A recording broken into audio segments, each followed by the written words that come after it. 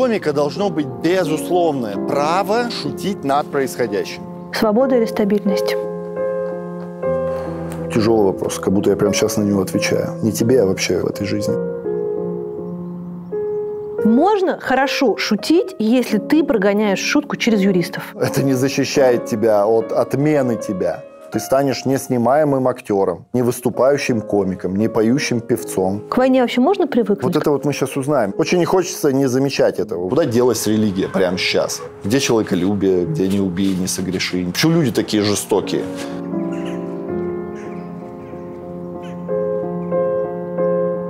Я люблю свою родину, но не, не беззаветно. Я тоже взамен хочу, хочу любви от родины к себе. Какое-то есть понимание, что вот они этим занимаются, и мы не должны туда лезть. А потом, когда эти люди тебя приводят туда, где ты бы быть не хотел, ты такой, а как так получилось, что же вы делаете? Но отдавая себе отчет, ты такой, а, так я ничего и не сделал для того, чтобы как-то на это повлиять. Книги будут другие, песни будут другие, стихи будут другие, ну, шутки будут другие, фильмы будут другие. Вот в первый месяц я точно осознал, что я вообще не взрослый. В моем понимании взрослый знает, что делать. А я не знаю, что делать. Я до сих пор не знаю, что делать. А ты вообще гипотетически представлял себе себя вот в этом феврале, что у тебя еще и дети есть? Или ты как раз подумал, что, блин, слава богу, что их нету? Блин, честно, я так думал. Сейчас через год ядерная война, и мне нечего терять.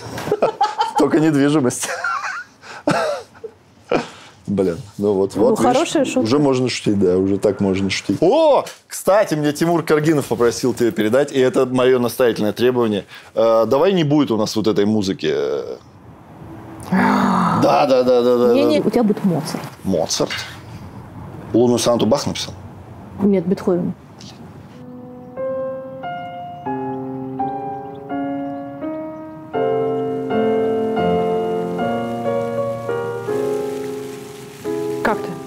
Нормально. Нормально? Да, волнуюсь.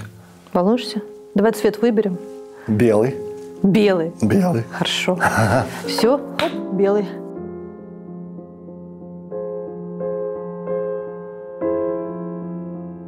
Это было трудное для тебя решение согласиться на интервью? Да. Так легко сказал. Ну, я же думал об этом много дней. А что было трудного? В чем риски? В стремительно развивающейся э, вот этой вот юридической повестке России, э, ну, в рамках каких-то новых законов, которые э, ограничивают твои возможности соблюдать твое конституционное право свободы слова. Вот и все. А что перевесило? Почему все-таки ты согласился? Блин. Ну, я так почувствовал. Давай так, ответим на этот вопрос. Ты часто поступаешь, ну, так, как тебе там сердце велит, да, а не так, как из, по всем аналитическим твоим каким-то выкладкам надо поступить? Слушай, я в целом до какого-то времени думал, что я неплохой аналитик. То есть до какого-то определенного периода все, что я э, планировал и думал, как сделать, делал, и как-то так все получалось.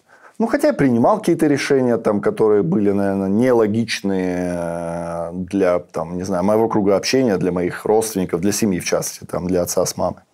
Ну, есть у меня такая черта, что если мне говорят нет, я вот хочу сделать э, наоборот, скажем так.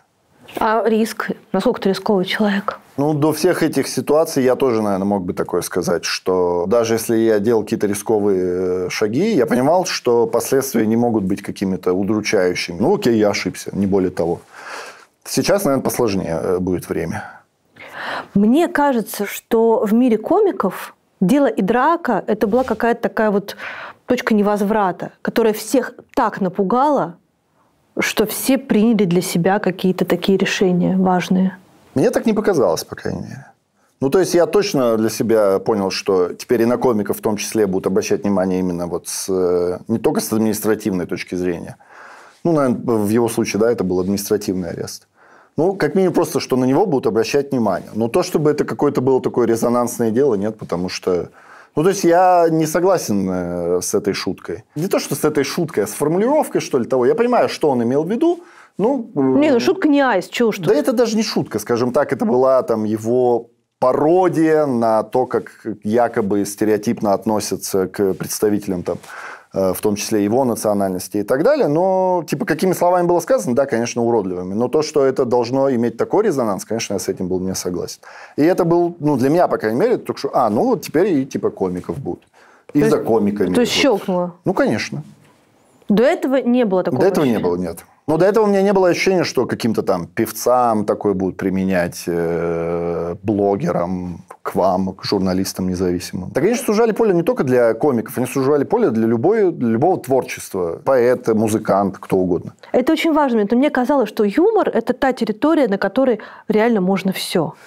А, до определенного момента. Был какой-то момент, когда стендап стал новым рэпом. Да. Ну вот. А потом не стал. И вот я, мне кажется, что там что-то случилось такое, когда есть такое выражение язык-то укоротили. Да, вот что-то случилось, что когда окоротили всех ребят, которые классно, смешно и бесстрашно шутили. Какое-то очень странное понятие «бесстрашен». Что это такое? Ну, когда ты не думаешь, так, здесь вырежут, здесь посадят, здесь не раз дадут говорю, так концерт. никто не думает. Так думают постфактум. Когда ты э, пишешь шутку, когда ты э, создаешь ее, там, проверяешь на каких-то концертах, на открытых микрофонах, ты так не думаешь. Потом, когда ты собираешь готовый материал и снял его, и потом уже ты рассматриваешь, конечно.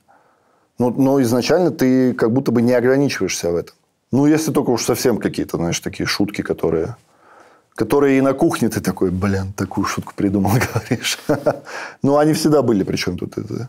Но ну, поле ограничивается, ну, конечно, ограничивается. Это настолько широко, что просто... Те ролики, которые я выкладывал на YouTube, мы прогоняли через юристов уже. Еще Уже? до и драка, да, еще до и драка. Можно хорошо шутить, если ты прогоняешь шутку через юристов. Да можно, а что нет? Ты же прогоняешь постфактумом.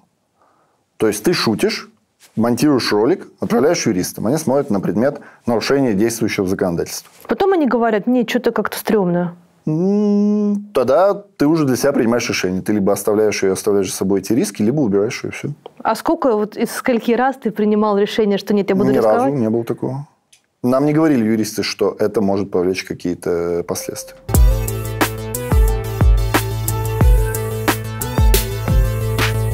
Революционерки, анархистки, бесстыжевки. Как только не называли слушательниц бесстужевских высших курсов в Петербурге, по сути, первого в России вуза для женщин. Для поступления на курсы требовалось обязательное согласие родителей или мужа. И некоторые, чтобы получить высшее образование, даже вступали в фиктивные браки. А еще надо было принести справку о благонадежности от полицмейстера или градоначальника. Революционерок на курсах и вправду хватало. Например, там училась Надежда Крупская. Но еще среди известных бестужевок актриса и жена поэта Любовь Блок, а также писательница Александра Бруштейн и Евгения Рубинштейн, первая в мире женщина-климатолог. После 1917 года курсы вошли в состав Петроградского государственного университета, теперь это СПБГУ. А сегодня об их существовании напоминает лишь табличка на одном из университетских корпусов на Васильевском острове. Но в Петербурге все же есть еще одно место, где все выглядит ровно так, как выглядело 140 лет тому назад. Это библиотека бестужевских курсов. Псевдоготический декор, балюстрада по всему второму этажу и, конечно, сплошные книжные шкафы до потолка. Библиотечный фонд собирался из пожертвований. Под коллекцию жертвователя выделяли специальный шкаф с именной табличкой, полки в котором устанавливали с учетом размеров томов. Всего таких именных шкафов тут 16. На большинстве из них фамилии преподавателей и выпускниц курсов. На полках можно найти книги с дарственными надписями от Михаила Салтыкова-Щедрина, Ивана Бунина или Леонида Андреева. Попасть в это удивительное место сложно. Пускают только по предварительной договоренности и только с экскурсией. А я здесь была, когда проводила экскурсию по Петербургу с клубом путешествий Михаила Кожухова. Хранитель библиотеки Алексей Востриков все нам рассказывал, все показывал и даже, но это секрет, давал потрогать книги. Вообще клуб Михаила Кожухова регулярно организует путешествия и экскурсии, реализовать которые самостоятельно просто нереально. Здесь делают путешествия по всему миру в маленьких группах с душой компании во главе. Можно, например, сходить в мастерскую к Юрию Нарштейну или окунуться в мир героев Манюни в Армении с писательницей Нарине Абгарян. Или отправиться на Дальний Восток на исследовательском судне с Михаилом Кожуховым. Важно, что группы здесь всегда небольшие, вы точно все увидите, расслышите и успеете пообщаться без спешки. А еще можно оставить заявку на сайте клуба, и для вас разработают индивидуальное путешествие или экскурсию с кем и куда захотите.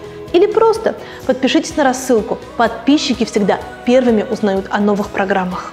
Переходим по ссылке в описании, вводим в поле секретный код слова «Гордеева» и получаем скидку 7% на первый заказ в клубе. Это может быть и индивидуальное, и корпоративное путешествие, или просто первая экскурсия. Скидка будет действовать на заявки, отправленные с сегодняшнего дня и до конца 2022 года.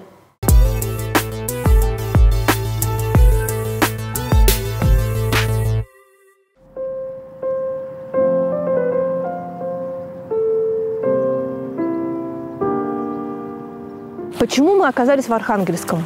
Потому что мне очень нравится это место. Ни одного человека вообще. Кайф. Я сейчас заехал с другого входа, там военный санаторий, и я шел, вот эта погода, и птицы весенние поют. У меня был жесткий флешбэк в мое детство, когда я с отцом из Хабаровска. Я иногда брал в командировке. Он же у меня летчик был. И он летал в Москву. А все военные, ну, аэродромы, городки, они все выглядят одинаково. Ну, как военный санаторий. Вот примерно такая. Там всегда очень красивая природа. Очень, да. И я только потом, уже потом, когда пожив в Москве, такой думаю, что тут все время дождь, что тут все время дождь. А потом я вспоминаю, мы с отцом, когда бы не прилетали в Москву, всегда дождь. Всегда был дождь. И мне отец говорил, я как в эту Москву не прилечу, там всегда дождь.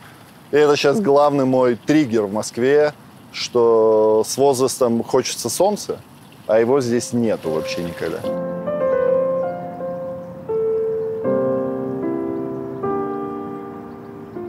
А отец стал военным, потому что кто-то до него был военным. У тебя дедушка один конюх, а другой кто?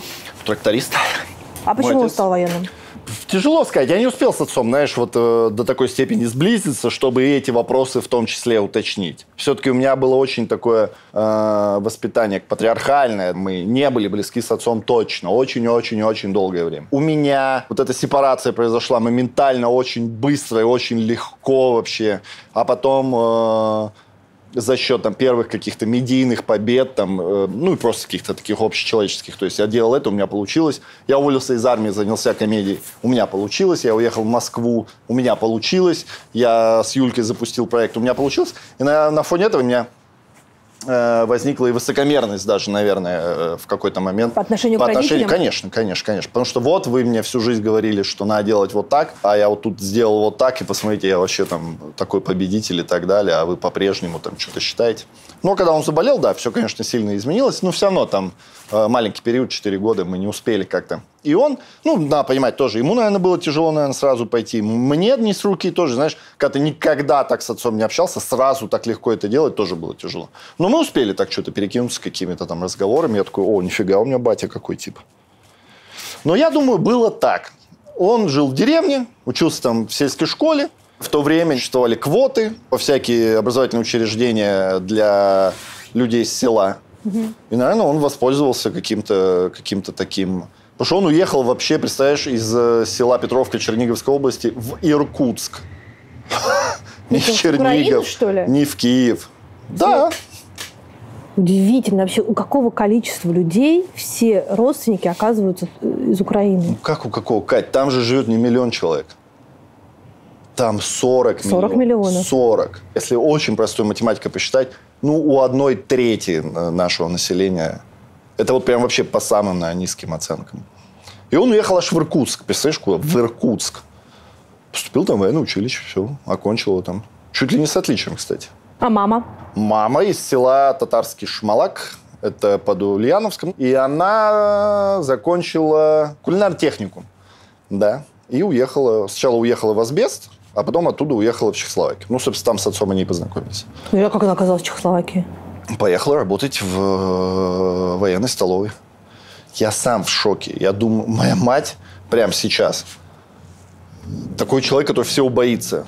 И я думаю, как ты вообще, ну, с таким пониманием жизни вообще уехала? Ну, я думаю, тогда это было, знаешь, такая вот, э, как это сказать, романтика такая классная, наверное. Потому что она поехала туда с подружками. И вот как-то так там оказалось, встретилась с моим отцом. У которого, как она мне говорит, на тот момент был роман с десятиклассницей. Они что-то такое говорят иногда, мимолетом, и ты это в моменте нет, а потом, когда ложишься спать, такой оцениваешь, думаешь, чего такое было? Э, уже после смерти его с дядькой я общался, э, с братом его.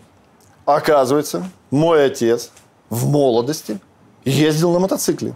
Я за всю жизнь от него ни разу не слышал ни истории, ничего-то ничего такого. Ездил на мотоцикле.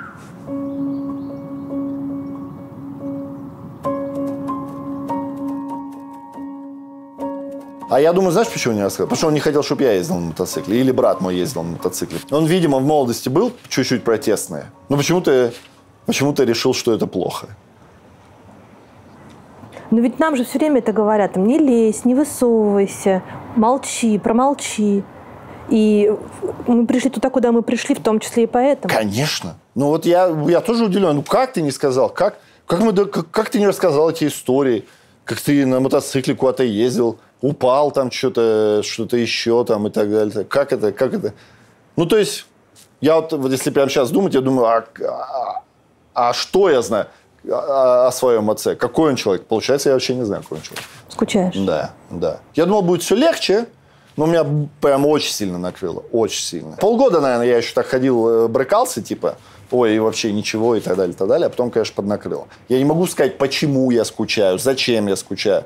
То есть, по большей части, э, я все-таки даже, видишь, думал э, со своей позиции. Мне жалко, что я не испытываю те положительные эмоции, если бы смотрел на то, как они вот живут и как мы все живем, знаешь.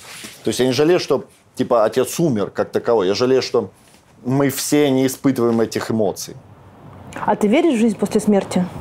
Тяжелый вопрос. Мне так не нравится, что если после смерти ничего нет. Просто это вообще не имеет никакого смысла. Вообще. Даже жизнь тогда не имеет никакого смысла. Как будто бы получается, если после смерти ничего нет. Ну, кстати, следующий вопрос, который у меня возникает прямо сейчас, это а где религия? Куда, куда делась религия прямо сейчас? Что происходит? Где все эти постулаты, которые она в себе несла, почему они все не соблюдаются? Где человеколюбие, где, где, где не убей, не согреши, не, не укради, не, не все, все прощения, где это? Почему люди такие жестокие?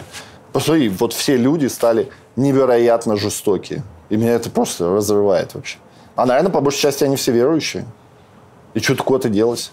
И я в этом плане уже подумал, блин, мне, наверное, даже чуть-чуть, может быть, нравится религия в каком-то в идеальном виде. Но мне не нравится отпущение грехов, мне не нравится прямо сейчас. Потому что я подумал, как так? Что это такое? Э, твои грехи делают из тебя того, кто ты есть, я имею в виду. И в том, в том смысле, как ты с ними справляешься, как ты с ними живешь. Это очень легко получается. Ты такой пришел, тебе отпустили грехи. Мне не очень понятно, как люди после 90-х понастроили церкви, и им все простилось. Как это так?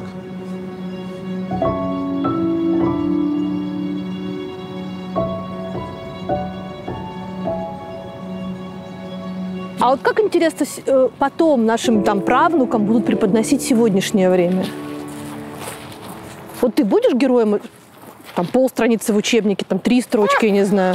Какого учебника? Истории. Не-не-не, я не хочу попадать в историю вообще ни в каком виде, Катя. Почему? Ну, учитывая, что я комик, Э, а как комик я в историю попасть, ну, в учебник истории попасть точно не могу. То есть мне что-то нужно совершить, чтобы попасть в, в учебник истории. Как то быть посредником Пугачева, там, знаешь, и так далее, и так далее. Так что нет, я в этих, в этих историях участвовать не буду. У меня сейчас очень такой э, переломный момент в рамках какого-то внутренней рефлексии. Э, я все время всем говорю, что я не кошка же. Ну, я же не кошка. Но у меня одна жизнь. А вот, вот на этой развилке очень многие люди э, принимали совершенно разные решения. Угу. Когда ты себе говоришь, у меня одна жизнь, и в этот момент ты себе говоришь, Значит, раз у меня одна жизнь, нужно прожить ее так, чтобы мне было мучительно стыдно, чтобы можно было смотреть себе в глаза, чтобы дети там, типа, мною гордились. И идешь по одному пути. Потом ты говоришь, у меня одна жизнь. Да ну его нахер, эту борьбу, ну его там все эти революции, там еще что. Я хочу путешествовать, любить, э, там, не знаю, смотреть вокруг себя, зарабатывать кучу денег там, и так далее. Кучу денег вычеркиваем из этого списка. Зарабатывать деньги своим трудом. Э, тем более, видишь, э, меня тяжело, ну, комика вообще любого, любого, наверное, честного стендап-комика, тяжело обвинить в какой-то пролонгации, продюсировании или еще чего-то, потому что я считаю, что комика спродюсировать невозможно. комик, который сам пишет все шутки, сам выступает, это такой, да, в музыкальном понимании бард. Ну, то есть ты автор и исполнитель своих там шуток, песен и так далее. Так, погоди, И какой вариант ты выбираешь? это будет с миру по нитке. Это я буду не там, не там. Так не бывает.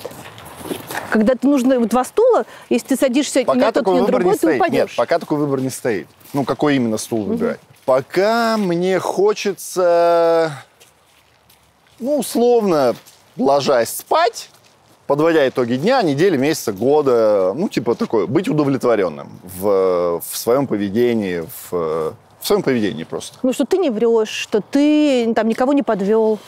В этом смысле? Не, ну я, наверное, могу и кого-то подвести. Мы же не стремимся быть Иисусом, да. Наверное, сильно никого не подвел. Я никого не предал, да. Вот я бы более сильные слова в этом ключе использовал. что Я никого не предал, я не пошел на сделку э, там со своей совестью ради там каких-то денег, ради каких-то выгод, э, ради каких-то знакомств и так далее. Я, может быть, кому-то даже помог и, и круто.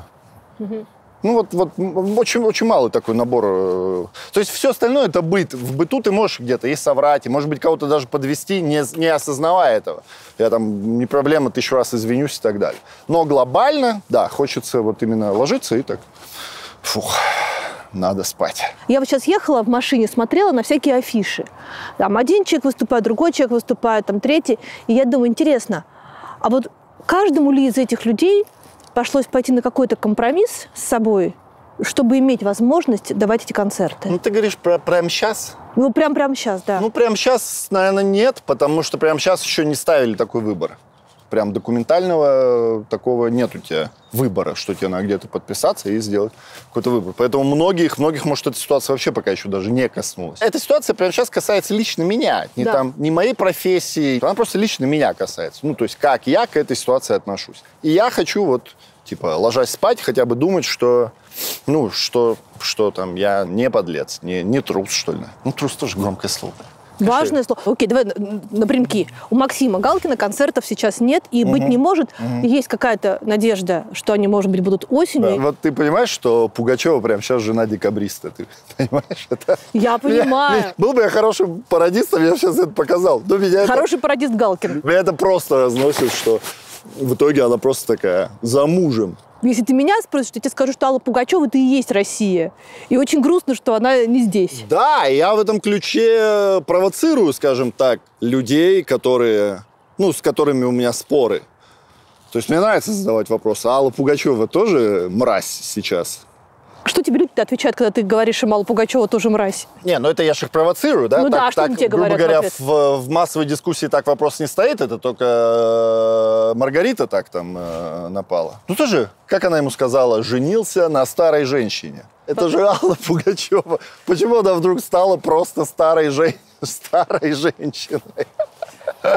И, и это сейчас преподносится как, как изъян. То есть, хотя по сути это брак между мужчиной и женщиной, что блин, прописано в Конституции. В Конституции же не пропишен брак между мужчиной 20-50 лет и соответствующим в этой возрастной категории женщиной. И ничего не отвечают, слушай. Ну что говорят? Говорят, а при чем тут Пугачева? Вот и все.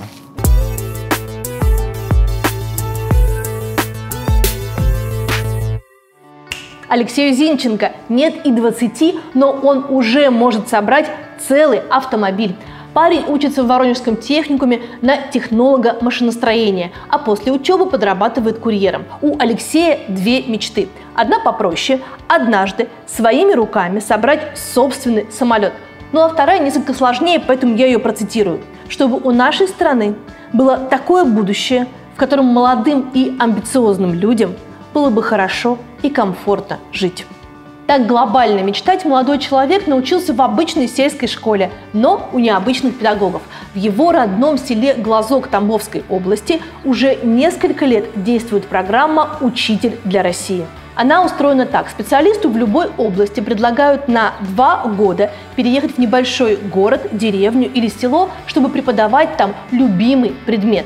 Ну, разумеется, для начала нужно пройти отбор, собеседование и проверку знаний, а затем прослушать небольшой курс по педагогике. Благодаря учителю для России уже больше 30 тысяч учеников в восьми российских регионах познакомились с нестандартной педагогикой и научились решать небанальные и интересные задачи. А еще поняли, как важно уметь высказать собственное мнение и критически мыслить. Учителя-выпускники этой программы, а их уже больше 300, не только продолжают работать в государственном и частном образовании, но и создают свои собственные образовательные проекты. Однажды учителем для России собирается стать и Алексей Зинченко. Поэтому сразу после техникума он будет поступать в университет. Есть профессии, научиться которым можно только на собственном опыте проб и ошибок. Например, предприниматель.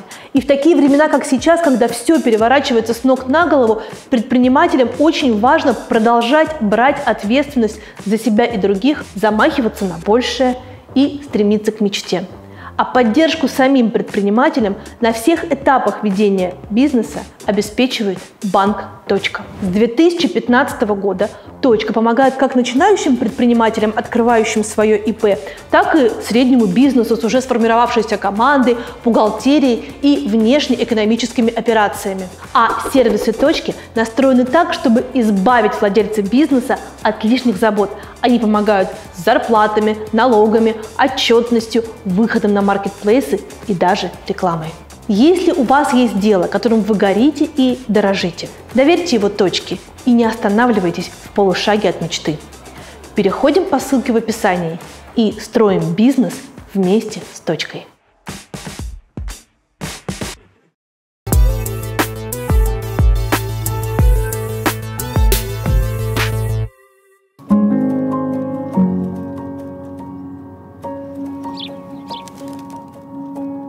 Знаешь, меня скорее всегда удивляет, когда человек ничего не говорит. То есть я уважаю позицию людей, которые говорят, да, окей, мы поддерживаем. Я уважаю позицию людей, которые говорят, это немыслимо, это невозможно, это зло там, и так далее. Но когда люди вообще молчат, я не могу это понять. Можешь мне это объяснить? А я закончил какую-то диссертацию, поэтому написал. Ну, ты же знаешь людей. Ты каких людей имеешь в виду? Ну, просто я есть люди, которые никогда не, ничего не, не ну я не просто прохожих. А другой, ну а что они должны были сказать? Хоть что-нибудь. Смотри, вот твоя цитата. Опа, попал. В России еще нет понимания, что комик – это социальное зеркало общества. Значит, когда ты социальное зеркало общества, когда ты претендуешь на эту суперроль, тогда ну, это мне не... так хочется, чтобы комик был таким. Потому что я так чувствую, мне кажется, это правда, так и есть. Ну, социальным зеркалом общества, как ни странно, стал не комик, а человек, который шел традиционным путем эстрады, это Максим Галкин. Вот у вас с ним разница три года. Да, кстати, удивительно. Я почему-то всегда считал, что он гораздо старше меня. Ну, Почему? просто он дольше в шоу-бизнесе. На, на порядок. Ну, вот он, да, он стал выступать, там, записывать селфи по актуальным вопросам. А ваш этот телеграм-канал, как он называется? «Круги на полях». Кать, ну я могу сейчас глупо с тобой разговаривать на предмет, ну надо у них спрашивать. Я же не могу за них сейчас отвечать. Нет, я, тобой, э, я не знаю. Я думаю, что все вместе, совокупность общечеловеческих страхов. Вот прям совокупность общечеловеческих страхов. Ты в этих кругах на полях вообще ничего да не, не делал, было получается? Никогда. Почему? Я не знаю, мне не, не предлагали. А я бы не пошел, это не моя история. Почему? Я не представляю себе записывающим селфи и что-то говорящим. Ты не записываешь кружочки? Нет. У меня за всю историю моего инстаграма не было ни одного сториса, где я такой, эй, я, возможно, жесткий старовер, невозможно, а скорее всего в этом ключе, но у меня вот не получается вот это вот, вот. Я все время чувствую какую-то, ты, ты дурак, что ли, блин, ты эскортница, блядь, что ты делаешь? Ну, как-то вот так я к этому отношусь. Ну, то есть, я думал, когда они появились и возымели успех, я думал, так, а я бы мог бы там существовать. И, ну, типа, я был спокоен к их успеху, э, у меня не было ни зависти, ничего, потому что я такой, ну, я бы не смог это делать. Ну, меня то и не позвали. Я, честно говоря, даже не знаю, как этот круг формировался. То есть, я не знаю, чья это идея была. Наверное, это чья-то была идея, и как-то вот сформировали там. Но это самый популярный в мире телеграм-канал. Да. Там миллион э, с хреном да, подписчиков. Да, да, да. И вот мне кажется, что это как раз вообще описывает все, что происходит с миром шуток и юмора в нашей стране, что вдруг наступает 24 февраля, и там наступает гробовая тишина. Да, потому что это был развлекательный канал. Ты почему-то считаешь... Ну там же не пингвины выступают, а люди. Значит, если ты человек, и ты от чего-то охуел, ну скажи, я охуел, я не могу сейчас вас веселить. Это же так просто. Не, ну я думаю, там были какие-то продюсеры, которые просто сказали, так, все, мы сейчас останавливаем всю эту деятельность. Я не знаю устройство этого телеграм-канала. Это группа компаний, комиков, которые на кухне собрались, такие, о, давайте по фану это будем делать, и у них там нет модератора и так далее. Или это спродюсированный проект. Угу. У меня есть ощущение, что это спродюсированный проект. Если это спродюсированный проект, значит, там есть продюсеры, есть люди, которым принадлежит этот телеграм-канал – которые там модерируют это все, придумывают, что они там, что где когда играли, какие-то разминки и так далее. То есть э, они это, это не, не, не их чистый фан. Поэтому, наверное, эти люди сказали, типа, что я бы так же сделал, если бы я был продюсером, я бы сказал, так, все, мы Ты сейчас... бы так же сделал? Конечно. А, а, ну, слушай, э, а как надо сделать? Ты просто размышляешь, как будто, на мой взгляд, сейчас очень добок. Мы можем допускать, что эти люди все не хотят ничего говорить. Просто ты как будто им прям в обязанность это вменяешь. Да. Но они, может быть, не хотят это говорить. Они нет, не могу сказать самое там то, что они считают нужным. Там, как Старовойтов сказал, да, у, у него есть право... Ну, может, они не хотят это говорить, Кать, я не знаю. Ну, ты, ты, ты с меня спрашиваешь, как со всего цеха. Нет, нет. В рамках нашей э, российской вот этой вот, э, раньше это называл шоу-бизнес, да, угу. назовем медийной сферы. Первый раз мы сталкиваемся вот да. с чем-то таким. Еще пока никто не знает, как себя вести. В следующий раз, если, не дай бог, мы с таким столкнемся, все будут знать, как себя вести. Возможно, влияют, э, да невозможно, а скорее всего влияет и, и цензура, и какие-то какие последствия, на которые тебя будут наложены. Ты станешь неснимаемым актером, не, не выступающим комиком, не поющим певцом. Это же не так, что не было таких прецедентов, это же было. Это все было там, наверное, много лет. Ну что, ноги отрежут? Понятно, Кать, все это понятно, но... Знаешь, меня очень впечатлило, я читал книжку «Краткая история человечества». О, отличная книга. Да. Меня там так впечатлил один момент, я этого не знал. Типа, почему в какой-то момент Голландия стала вот такой большой мировой империей с колониями, со всеми там остальными делами. Там было написано так, что это был даже не, не государственный голландский флот. Это были наемники, просто наемники, которым Голландия говорила, типа, вы там что-то открываете, что-то забираете себе, вот наш флаг просто поставьте. Это будут голландские территории, но вы там все что-то можете забрать там, и так далее. Все, что там найдете, не знаю, золото, бриллианты, женщин и так далее. И вот так они по миру вот ездили. Это, это, не был, это не был королевский голландский флот. Просто каким-то пиратам в тот момент выдавали сертификат, что вы действуете под эгидой королевского голландского флота. А до этого Испания была такой страной. Но в какой-то момент король Испании сказал, все, что открыли, все, что там забрали, все, что нашли, все мое. И все таки типа, это как так? Он такой, я король, я могу. А в Голландии такого не было. Король Голландии в какой-то момент сказал, все мое. А суд, они обратились в суд Голландии, суд Голландии такой, а, к сожалению, нет. Вот договор, и они имеют на это право. Независимая юридическая система, в которой ты понимаешь, что если ты действуешь согласно букве закона, ты в безопасности. Ну, имеется в виду, ты имеешь возможность защищать свои права. Прямо сейчас в России, мне кажется, в ряде случаев это невозможно. И дальше вопрос мириться, не мириться, на который каждый отвечает по Ну, дальше вопрос ты такой, так, хорошо, я вот... Э, то есть, ты выкладываешь там, я выкладываю какие-то ролики, мы прогоняем через юристов, юристы смотрят, говорят, ну, вроде ты тут ничего не нарушаешь. Но оказывается, что это не тотем это не защищает тебя от отмены тебя. Вот и все. А ты, кстати, тогда испугался, что у тебя будет отмена тебя? Когда концерты отменяли? Испугался что? Ну, типа, угу. меня вообще не будет? Да. Не хочу показаться каким-то бравым, но нет. Такой, ну, типа, было злость, сожаление, там, не знаю, обида, э, чувство мести. Потом такой, ну, ну окей, ну что, окей будем как-то что-то думать, что-то выдумывать. Но я в тот момент такой думаю, так, а мне нравится «Пираты Карибского моря». Там вот везде Джек Воробей. Я такой думаю, а чему в каждой части Джек Воробей? Чему учит нас Джек Воробей? Ты смотрел «Пиратов Карибского моря»? Вот чему нас учит Джек, Джек Воробей? Не унывать. Банальный какой-то вывод, но мне он тогда помог. Я такой, ну окей, ну, ну что? Ну, столкнулись мы с этой... Не онкология, уже хорошо.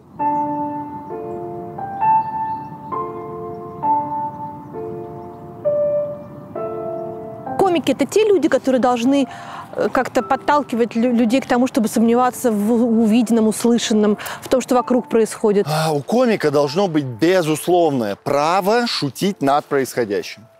Неважно в какую сторону, вообще неважно.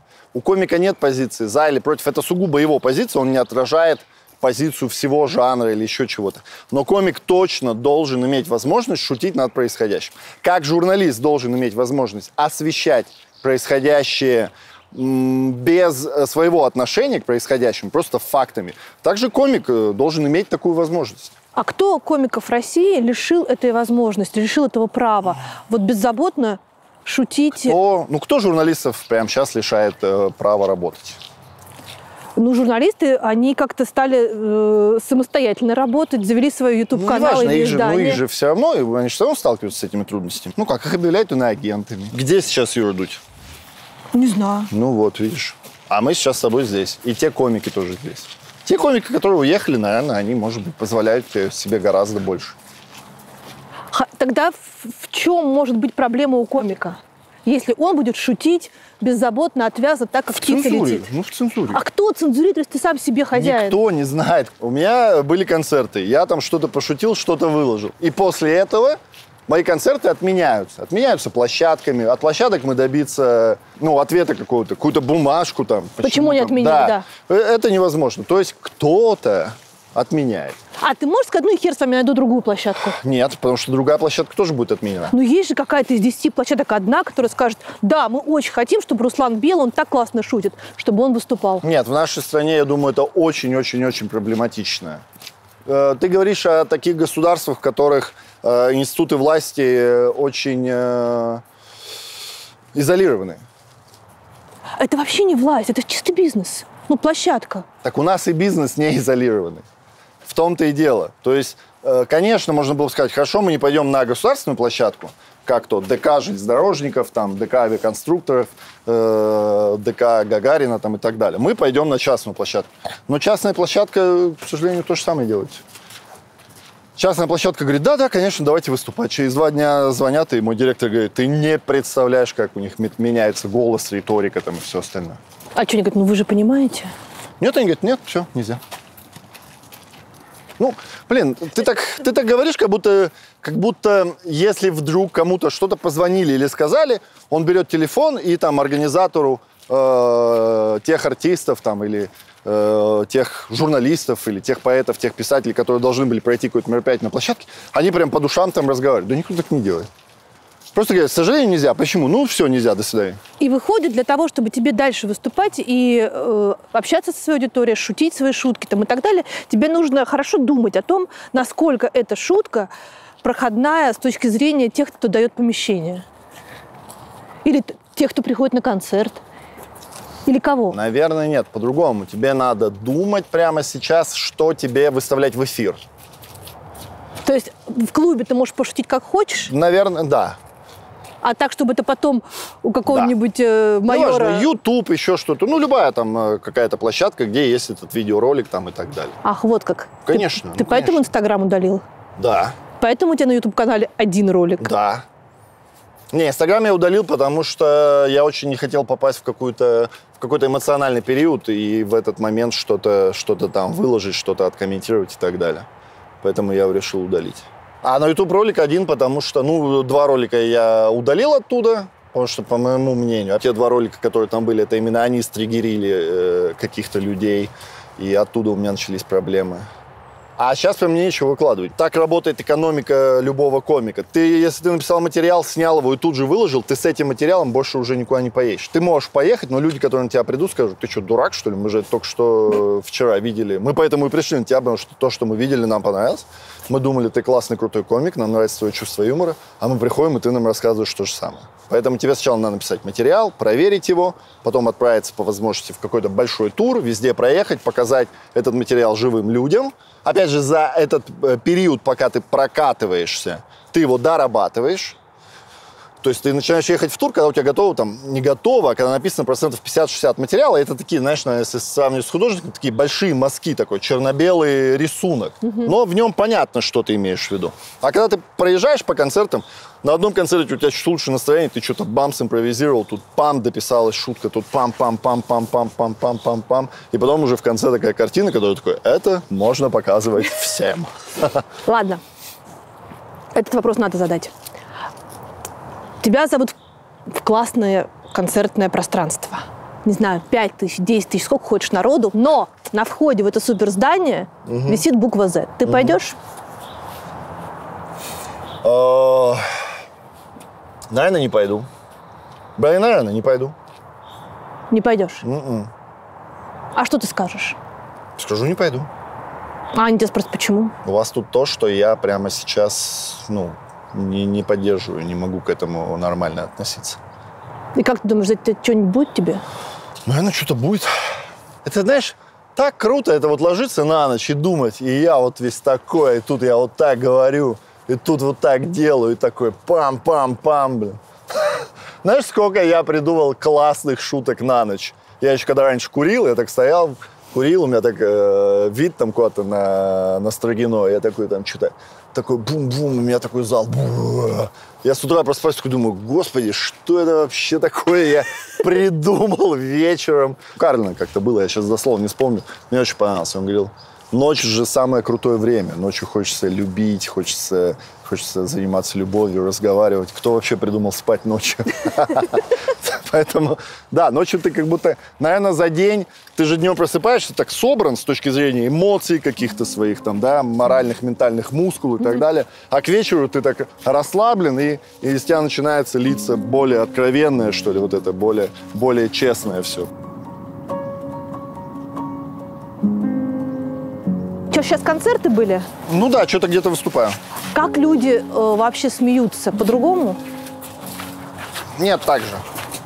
То есть как будто ничего вообще не произошло? А как, а как они должны смеяться, если они пришли э, на концерт комика, и этот комик тоже приехал?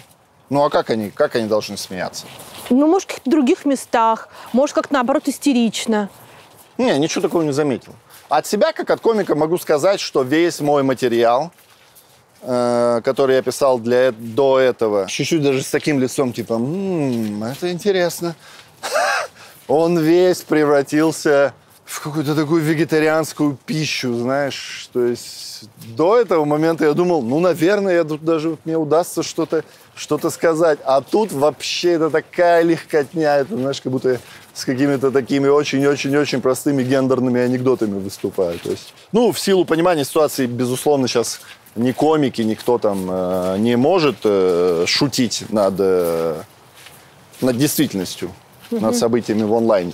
Поэтому ты просто шутишь шутки, которые были до этого написаны. Конечно, очень сильно все потерялись, растворились, превратились просто вот просто в шутки. Я как будто с точки зрения своего материала, знаешь, лет на 8 назад откинулся. Я не знаю, насколько даст мне это возможность потом э, пере, пересобраться, что ли, передуматься. Ну, наверное, всем это даст возможность, всем творческим людям, да? Я имею в виду, книги будут другие, песни будут другие, стихи будут другие. Ну, шутки будут другие, фильмы будут другие.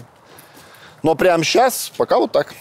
В каком-то интервью тебя спросили, на- обо всем ли можно шутить. И ты сказал, что шутить можно обо всем, но должно быть какое-то там расстояние по времени. Ну да. А какое должно быть расстояние по времени? Когда умер Игорь Сорин, да, помним? Кто? Ты что тогда еще, наверное, девчонкой была, тоже э, должна. Это А из Иванушек Интернешнл парень, да? А потом, спустя сколько-то лет, может быть, даже лет 10, э, опять тот же парень, ну, я имею в виду, э, тот же парень с точки зрения персонализации в группе, тоже умер. Да ты что? Да. Какой кошмар. Что, не слышала? Да, извините. Ну и сразу, как бы, после этого я придумал шутку, что точно кем сейчас не надо быть, это третьим из Иванушек. Ну, просто... И вот сколько прошло? По сути, я, как только услышал эту новость, это там, я сразу же придумал. Когда просто человек умирает, поканчивает жизнь самоубийством или умирает от тяжелой болезни, это уже все-таки мы с этим же привыкли, ну, мы свыклись же с этим. Люди вокруг умирают. Тебя, твоих друзей, там, родственников, еще кого-то. Поэтому это, наверное, чуть быстрее. Про эти события, наверное, будет чуть сложнее. Не знаю. Когда Никулин стал рассказывать анекдоты про войну, мы же тоже не знаем. 10 мая. Хотя я думаю... Я думаю, что во время войны уже были Да, анекдоты про да, войну. Да, да, да, да. Ну, человек же привыкает ко всему. Это вот. Поэтому сейчас, наверное, для себя сформулирую такую главную задачу постараться не привыкнуть к этому прямо сейчас.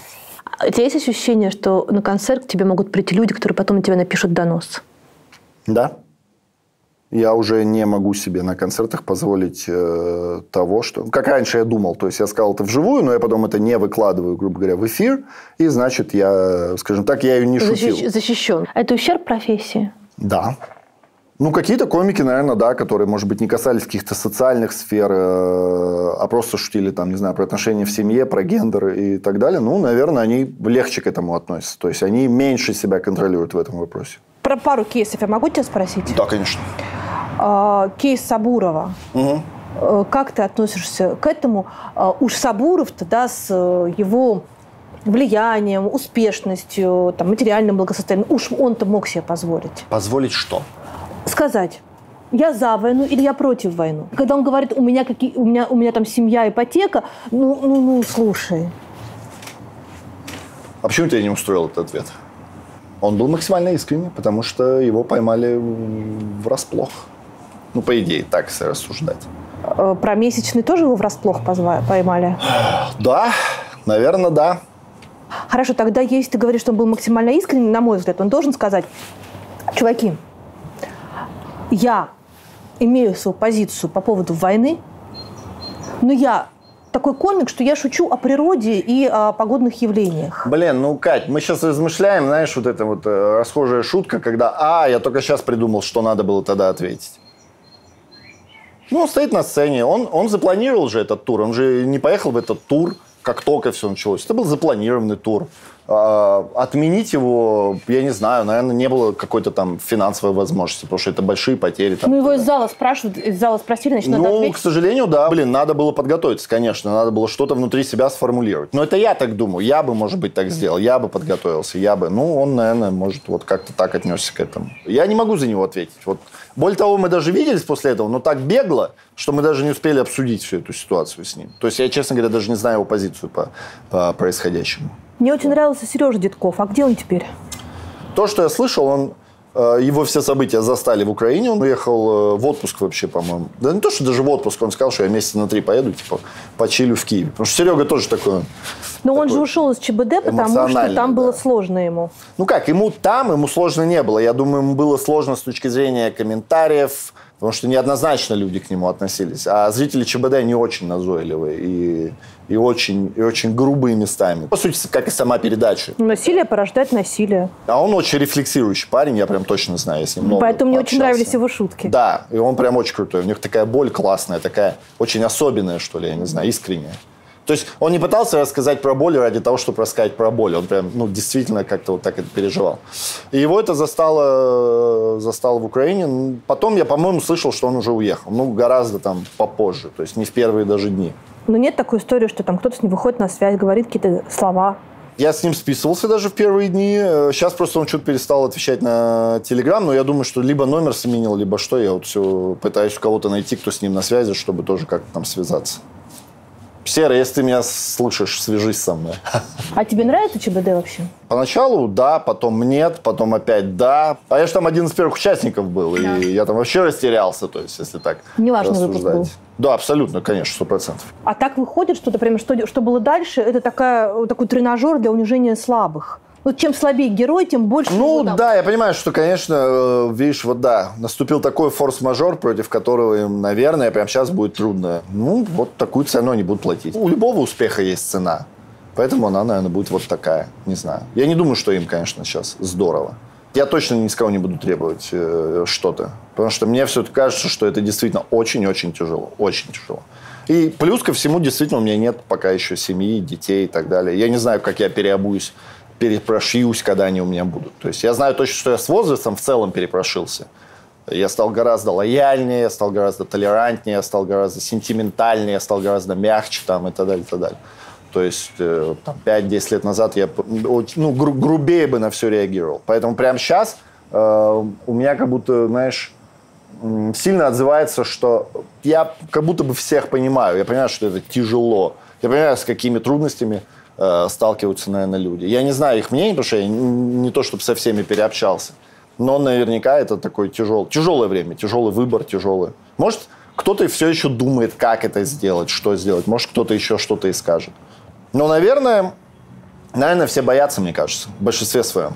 Ладно, давай так, чтобы за всех не отвечать. Я думаю, что страх точно присутствует. Точно присутствует страх э, последствий за э, выражение своей точки зрения.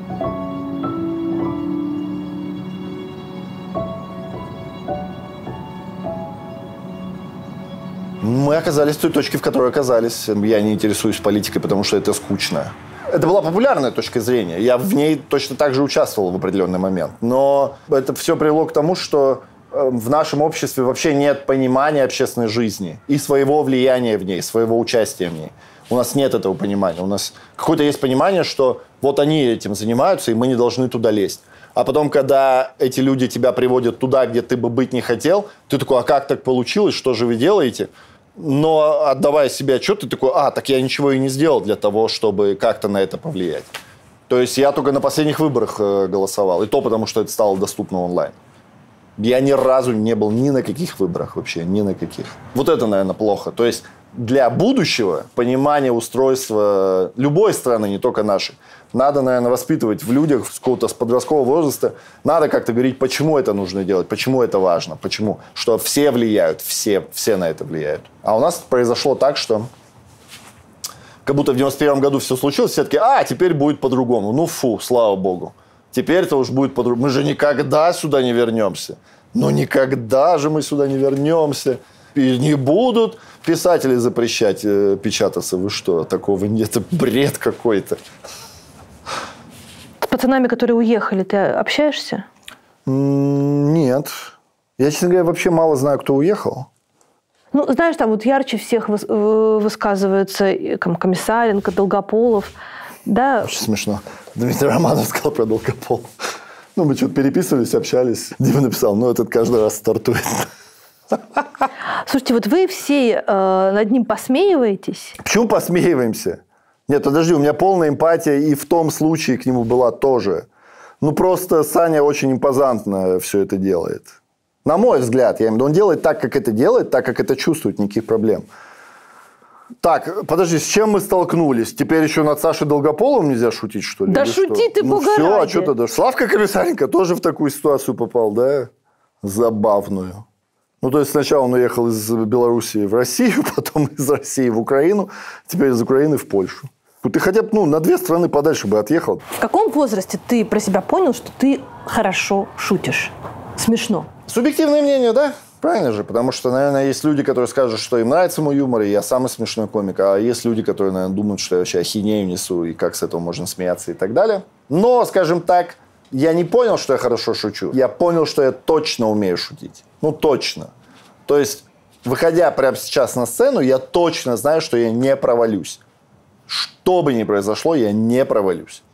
Есть, а в детстве ты шутил? Ты был душой компании? Нет. Ничего такого точно нет. Я там с восьмого класса, по-моему, стал участвовать в КВНах. И то только потому, что я на каком-то интуитивном уровне понимал, что с этого можно получить какие-то бонусы. Ну, там, прогулять школу, я не знаю, там, знаешь, вот на таком уровне. А чьему чувству смешного ты завидуешь? Слушай, ну, не знаю. Ну, вот у Сени, у Сени, мне нравятся какие-то тонкие вещи такие. Он не грубый комик. У него словосочетания, предложения, они, они сложно сочиненные. Я бы хотел этим обладать. Там литературой, знаешь, когда у тебя такой текст и лился еще в том числе. У Тимура Каргинова мне очень нравится умение его на что-то обращать внимание и доводить это до абсурда какого-то, знаешь. Ну, там вот знаменитый в наших кругах э, разгон там э, одновременно кошелек, одновременно чехол для телефона. И вот он там, я не помню, минут семь, наверное, вот это вот рассказывал. Это когда мы даже это потом, ну, типа, это не так было смешно, но мы пустили это в эфир как редакторы, потому что мы такие, ну, это точно надо увидеть людям, потому что это такое, знаешь, вот, умение вот это вот долго стоять на чем-то, это вот так мусолить, мусолить, мусолить, что в какой-то момент уже начинает быть смешно. Я вот сейчас, когда ехал в Воронеж, я поймался на каком-то приколе, что я теперь решил, что каждый раз, когда я где-то буду видеть памятник самолета, я буду говорить, что позвоните военным, они самолет забыли. Я вот хочу это лет пять делать, знаешь, следующее, чтобы все мое окружение с ума сошло на этом. У Юльки Ахмедовой, конечно, тоже есть панчи какие-то очень прикольно удивительные, да. блин. Ну, нет, я бы не хотел чем-то обладать. И завидовать тоже. Раньше бы я завидовал, потому что моя карьера только становилась, и я искал себя как комик. Э, раньше мог бы там позавидовать умению Абрамова пародировать людей. Безусловно, наверное, мой бы арсенал моего комического вооружения расширился. Но, с другой стороны, я думаю, ну, я тут комик, который есть, потому что вот я, ну, обладаю тем навыками, которым обладаю, вот. А вы с Ахмедовой все еще дружите? У нас, наоборот, ренессанс дружбы сейчас такой очень классный. А, мы, по-моему, наконец-то э, притерлись, э, друг другу все простили, перестали соревноваться. Я, в первую очередь, наверное, так уже по прошествии. Соревновались, времени. да? Я думаю, что я да. Э, я думаю, что я пытался доминировать на подсознательном уровне, не специально. У нас был жесткий период, очень тяжелый. Сейчас вообще, ну вообще кайф, мне очень нравится. То есть он там прям тот человек, который, который один из немногих. У меня вообще мало друзей, так как таковых прям друзей. И все они очень крутые чуваки, но с ней прям класс. Я могу поделиться во всех своих каких-то там переживаниях, победах, счастьях, разочарованиях там и так далее. А девушек своих ты, своих ты ей показываешь? Посоветоваться? А, у меня их не так много было. При ней у меня их было две. А, сейчас действующая вторая. А, ну нет, конечно, ну что значит посоветовать, что это такое? Ну не, как, уж... вот я влюбился, не, а не, тебе как? Не-не-не, вообще плевать, я же влюбился. Ну что вам это... же проводить много времени потом вместе. Ну и что? Вообще в этой связи, знаешь, думал, э, что вот эти вот все а надо получить благословение у родителей. Я такой, что вообще, что это такое? Почему тут родители вообще? Я вот как-то пытаюсь размышлять на тему того, что родители твоей жены или мужа, это же вообще чужие те люди, ну вообще по сути. Ну по факту же. До, Ты до, просто до вашей встречи, да, потом тебе придется проводить с ними много времени. Видишь, ключевое слово «придется». То есть, если бы не было это условием, то, то навряд ли бы ты такой, так, а поеду-ка в Таганрог э, вот к этим взрослым людям. Ну ладно, ну, безусловно, понятно, что это же родители твоего там супруга и так далее, но... Но в целом, как бы, я не очень понимаю, почему у кого-то надо просить какое-то благословение. Подожди, то есть получается, что любой, вообще любой жизненный опыт ты берешь, потом перевариваешь и переформатируешь в шутку, которую ты читаешь на концерте? А, ну, так или иначе, да, конечно. Стендап – это стриптиз души. Стендап, в первую очередь, это рефлексия над собственной жизнью. А посредством этих шуток люди либо узнают себя в этих шутках, э, смотрят, как ты на них реагировал. Знаешь, как, как круто, когда ты у комика слышишь какую-то шутку или какое-то наблюдение, такой, а, у тебя тоже так?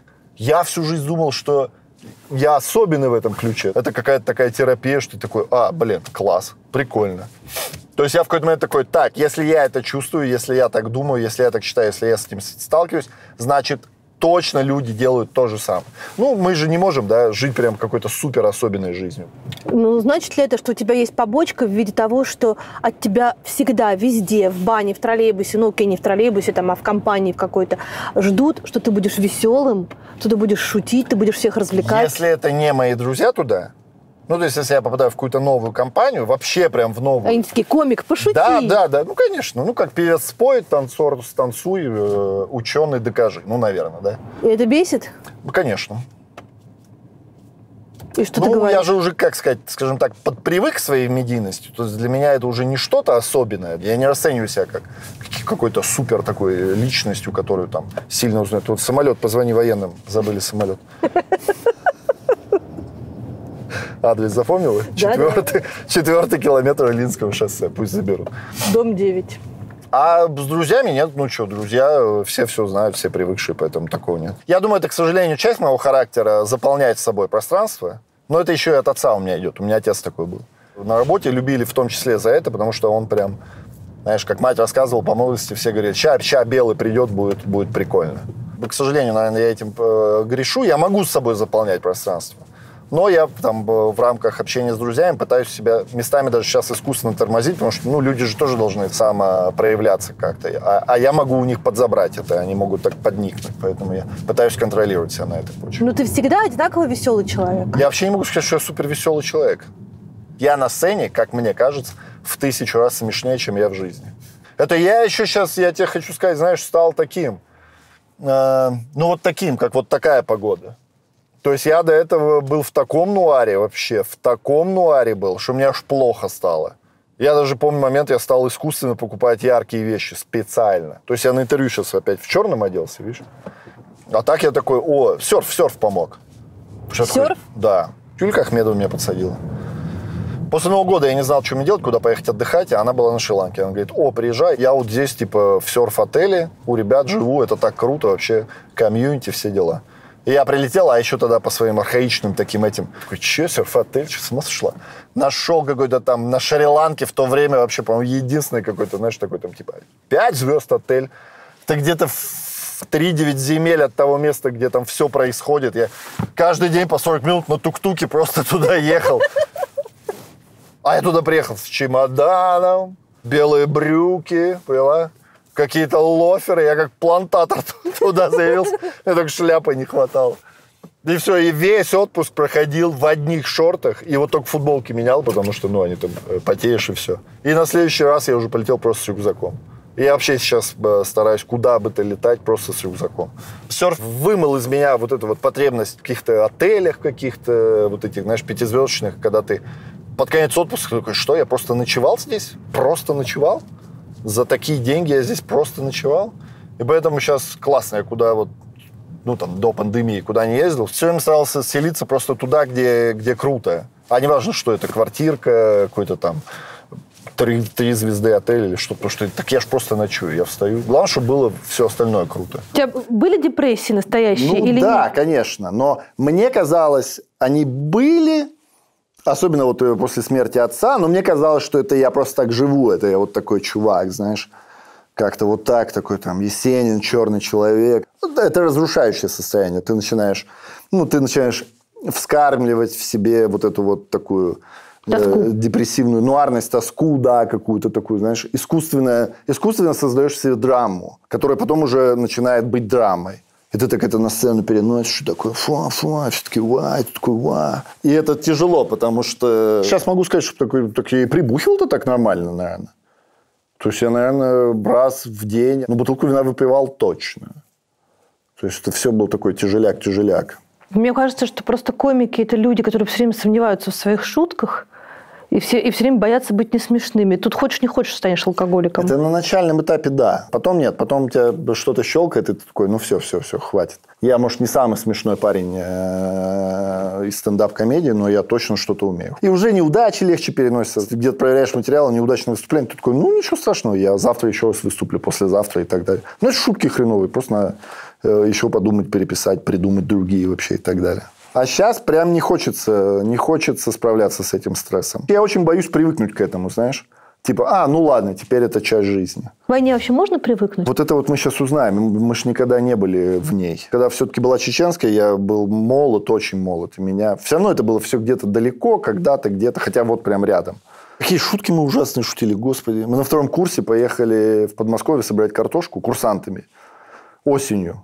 Я не знаю, почему-то техники не было или что-то, да. И вот это была такая практика. Нас училищем вывозили в Подмосковье в село Бунятино. Мы там собирали картошку, а мы, надо понимать, приехали на вокзал Павелецкий. И вот так, прикинь, весь поезд выходит, мы все в шинелях, в, э, с вещмешками. Ну, только что без оружия, потому что какое оружие? Зачем тебе оружие на собирание картошки? Просто вот так вот в шинелях, в шапках, все. И там какая-то бабушка ходит такая, ой, сынки, куда ж это вы? Мы такие, на войну, мать. на войну».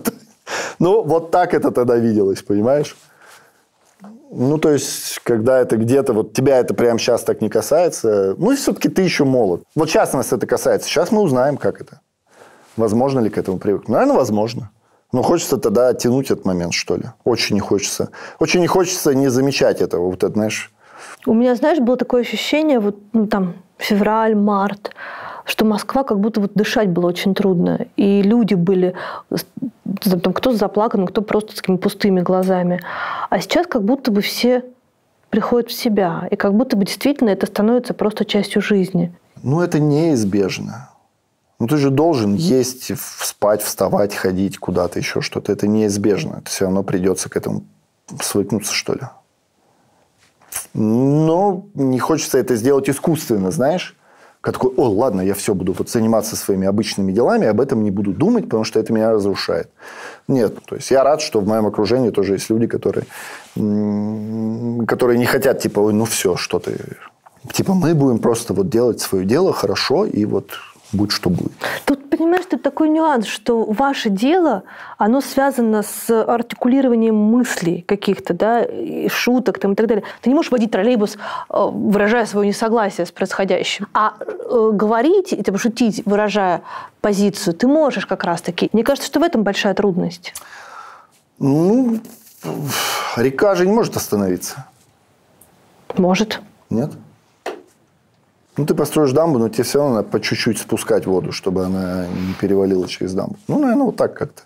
Как-то где-то что-то, не знаю, прорвется еще что-то. Слушай, а кто были те четыре человека, которым ты позвонила в 24 февраля? Леха, как ни странно, Семен Слепаков и Юлька Ахмедова. Четвертый я не помню, возможно, я троим тут позвонил. Но маме не позвонил. Не.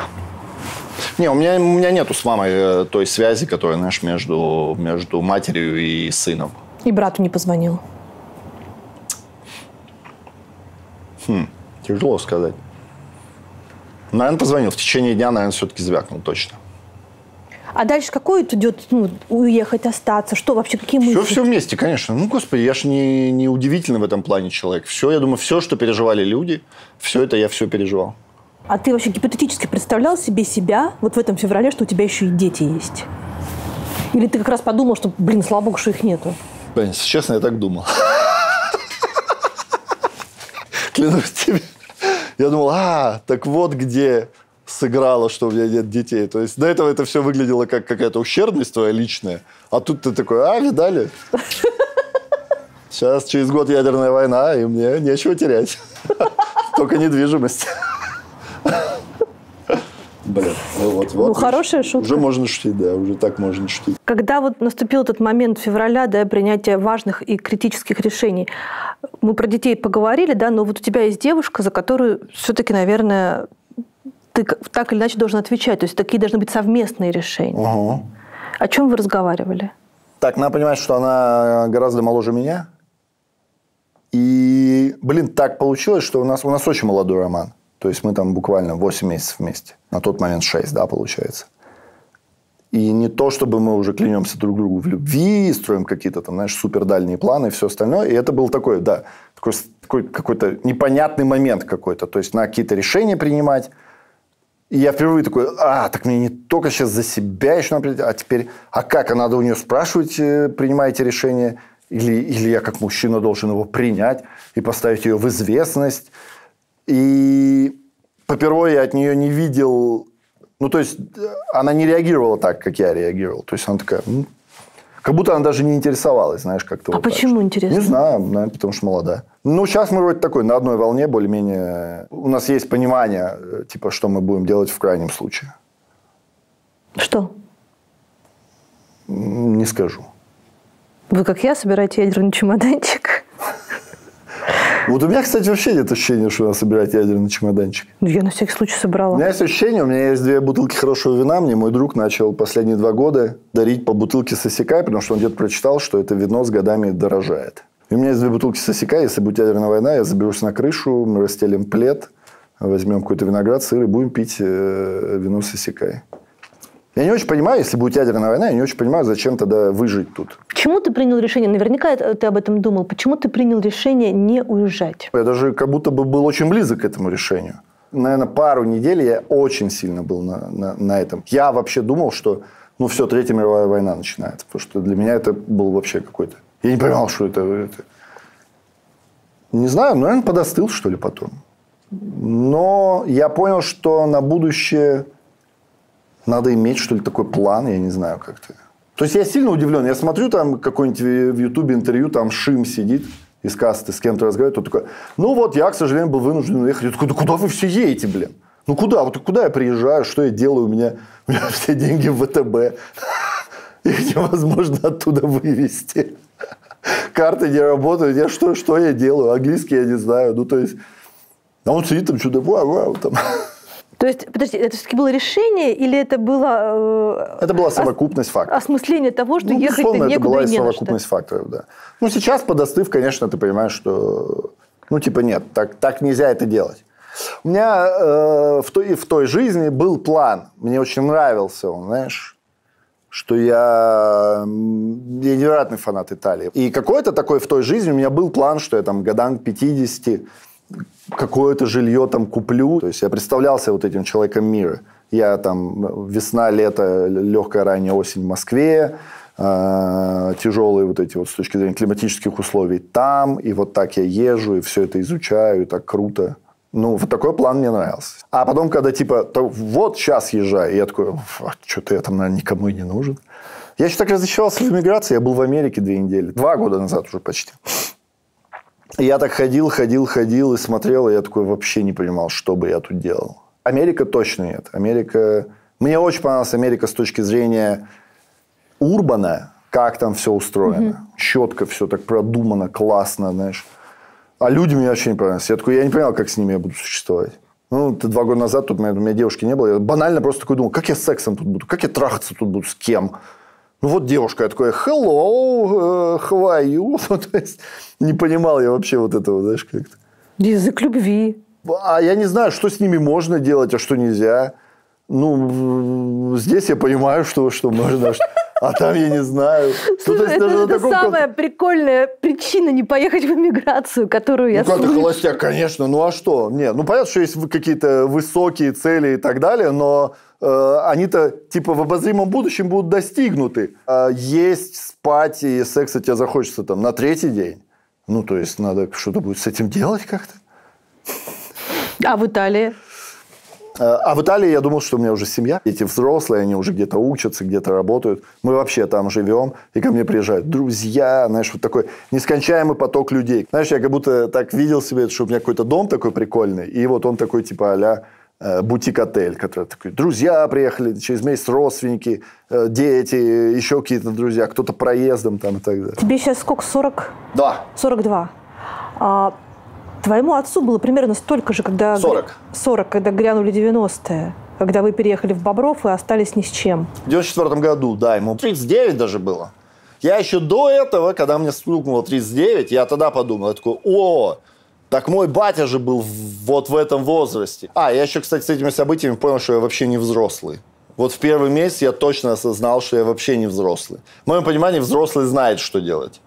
А я не знаю, что делать. Я до сих пор не знаю, что делать. Такое какое-то, может, даже чуть уничижительное признание, но тем не менее. И тогда я тоже думал, я думал, блин, в 39 лет он с таким столкнулся, в, 3, в 39? Обалдеть, если бы я сейчас с таким столкнулся, что бы было? Да, я так охренел от этого. А у нее еще жена, двое детей, недостроенный дом какой-то там. Насколько 90-е были разрушительны для семьи, ну, для отца с матерью? Я думаю, они были очень трудные. Потому что, к сожалению, там из-за, наверное, вот этого морального и, в первую очередь, финансового в том числе, и вообще в целом вот этого удара папа так стал э, выпивать, скажем так. Мягким словом выпивать. Он устроился в кочегарку, потому что у нас был дом частный, который мы еле-еле за лето там достроили. И там был котел, но не был еще проведен газ. То есть дом оплач... Э, отапливался не газом, а углем. Соответственно, чтобы не покупать этот уголь, отец пошел устроился в кочегарку, чтобы воровать этот уголь. Ну, вот, вот так он размышлял. И вот он там поработал год, ну, зиму, по большому счету. Потому что после зимы он потом устроился на завод зерноперерабатывающий, где делали подсолнечное масло там и так далее. И он сначала устроился грузчиком, потом как-то там пум-пум. И он там через год уже какой-то начальник охраны, уже все дела. И это, нам... это же ужасное падение по социальной лестнице вниз, если ты офицер да, конечно. в армии, а ну, потом конечно. ты кочегар. Конечно. И для мужика 40 лет это так себе переживание. Я думаю, да. Ну, я думаю, ужас вообще полнейший. Ну, то есть, очень сильный. Учитывая, что он еще потерял вот эту вот свою работу. То есть, он невероятно любил вот, ну, быть... Вот свою работу он невероятно любил. А потом ему пришлось работать где, вот, где, где получится. Ну, то есть, он потом, я же говорю, там, стал начальником охраны, и, и, и потом он стал выпивать из-за того, что у него стали появляться деньги какие-то. Он такой крутой, что-то рулит какие-то моменты там и так далее, знаешь. То есть сначала как будто бы от того, что плохо, потом от того, что хорошо, и вот так, вот так. У него же даже инсульт был. Он же вот Видишь, мне было бы счастье, да несчастье помогло. После инсульта он перестал пить. Ну, ему запретили и пить, и курить, и он курить сказал, что, с ума сошли? Ну, Как он много курил, кошмар. мне. Как он бросил, это вообще для меня нонсенс. Он бросил курить. Ну, так, Когда рак был? нет. Он, ему у него инсульт, ему говорят, вам не пить, не курить нельзя. Он говорит, я пить не буду, а курить буду. И курил по три пачки. А потом брат женился, и он сказал, «Э, как только появится внук, я брошу курить. И бросил. Да. Сила. Даже не дождался, они ему э, из находки, у меня брат уехал служить, под находку куда-то. Они оттуда позвонили, говорят, мы беременны. И мать говорит, я на следующее утро смотрю, говорю, а что ты не куришь? Он говорит, ну я же обещал, я бросил. Так внуков хотел? Да, он э, со временем точно стал сентиментален. Ну, он был всегда сентиментален, но внуки прям вообще, знаешь, его так растоптали. Я бы спорил на любые деньги, вообще имущество, что угодно, на свое здоровье, что он никогда не бросит курить. Он курил три пачки в день. Я подвергался физическому насилию, если по дороге из школы не покупал ему сигарет. Ну, то есть, не было такого, что я говорю, ой, я забыл. Он такой, ну, ладно, сбегай. Нет, это было следующие 15 минут еще не курить. Знаешь, вот как все говорят 90-90, а я вот не помню 90 именно вот с той какой-то такой трудностью, потому что, ну, я же говорю, я был подросток, потом поступил в военное училище, и даже там, ну, то есть я помню, да, что не было денег, там, еще чего-то, ну, как-то это все. И мне кажется, что как раз военное училище для очень многих семей а, было способом ребенка куда-то пристроить Абсолютно и, и не платить за В него. том числе, кстати, да. То есть это решается жилищный вопрос, то есть, э, ну, с другой стороны, ты мог жить в общаге, наверное. Да, ну кормить тебя кто в общаге будет? Кормить, да, да, да, да, да, да. То есть ты- Да и то кормили, слушай, господи. Там все время кто-то э, приезжал, там такие баулы. Лехи там все время передавали с Краснодарского края. Мы каких-то... У него отец держал каких-то нутрий, что-то такое. И там какие-то нутри нам передавали. Вино домашнее. знаешь, Слушай, такое. Нутрия – это зверек пушной. Из него можно только сделать... э, Ну, может, я ошибаюсь. Ну, короче, что-то такое, я не помню. Какая-то крыса. Так. Нет, ну, это было очень вкусно. Вино домашнее такое крепленное, знаешь, как кружку выпиваешь, такое... Оно такое полусладкое вообще, обалденное. Если бы ты остался в военной всей этой истории, ты бы сейчас, наверное, подполковником был. Да, может, полковником даже. Ты на себя это примерял? Нет. Вообще? М-м. Это военное образование, но профессия метеоролог. Плюс я остался в училище, потому что мы играли в КВН, я не поехал э, в регулярные части и так далее. Я бы, скорее всего, сейчас занимался бы научной работой, написал бы на какую-то диссертацию, был бы преподавателем на кафедре полковником. Ну, то есть, наверное, прям вот, как это сказать, ну, грубым словом, прям в окопах я бы точно не был. Ну, ты все равно на себя это примерял? С точки зрения военного? Нет. Ну, не хочу думать об этом, да. Я вообще не хотел быть военным. Вообще. Но у меня есть забавный случай, что мы уже в Боброве, 97 год, я заканчиваю школу. В разгаре Чеченская война со всеми этими ужасными кадрами и полной вероятностью того, что ты, если попадаешь в армию, то едешь в Чечню автоматически. И отец, естественно, в тот решение уже точно принимает решение, что я иду в военное училище, потому что как минимум 5 лет, пока ты там учишься, ты туда не едешь. Ах, вот как. Да. Не, ну он, наверное, как э, военный в целом, наверное, думал о том, что я буду военным. Но тут как бы уже точно это утверждается. И он мне как бы, я не помню, насколько он меня поставил перед фактом, но я тогда про себя подумал. А он говорил про Воронежское инженерное училище. И я тогда почему-то подумал, я говорю, ах так? Я ему говорю, а я хочу летчиком быть, как ты. И там было, э, я не знаю, есть сейчас, Балашовское училище. Там учили летчиков транспортной авиации. То есть отец бортинженер, а я бы вот был летчиком. Он такой, хорошо. И мы пошли в Боброве проходить э, медкомиссию. И я думаю, он подговорил какую-то медсестру, которая делала кардиограмму сердца, потому что она сделала кардиограмму сердца, и выходит и говорит, о, ну с такой кардиограммой летчиком не стать. Блин, почему? Потому что у отца э, были кое-какие связи, но были в э, военном училище в Воронеже. А в Балашовском училище не были. Видимо, отец на мои умственные способности вообще не рассчитывал. Не, я, ну, слушай, ну я все понимаю, но это очень высокий риск. Представляешь, ты не поступаешь, тебя сразу забирают в армию, и ты сразу едешь там условно в Чечню. Не условно, а прям в нее и едешь. Поэтому он полагал, что бог с ним уже хоть куда-нибудь, но я точно проконтролирую хотя бы этот момент. Хотя я закончил школу с серебряной медалью. Не знаю, чего он так не доверял мне.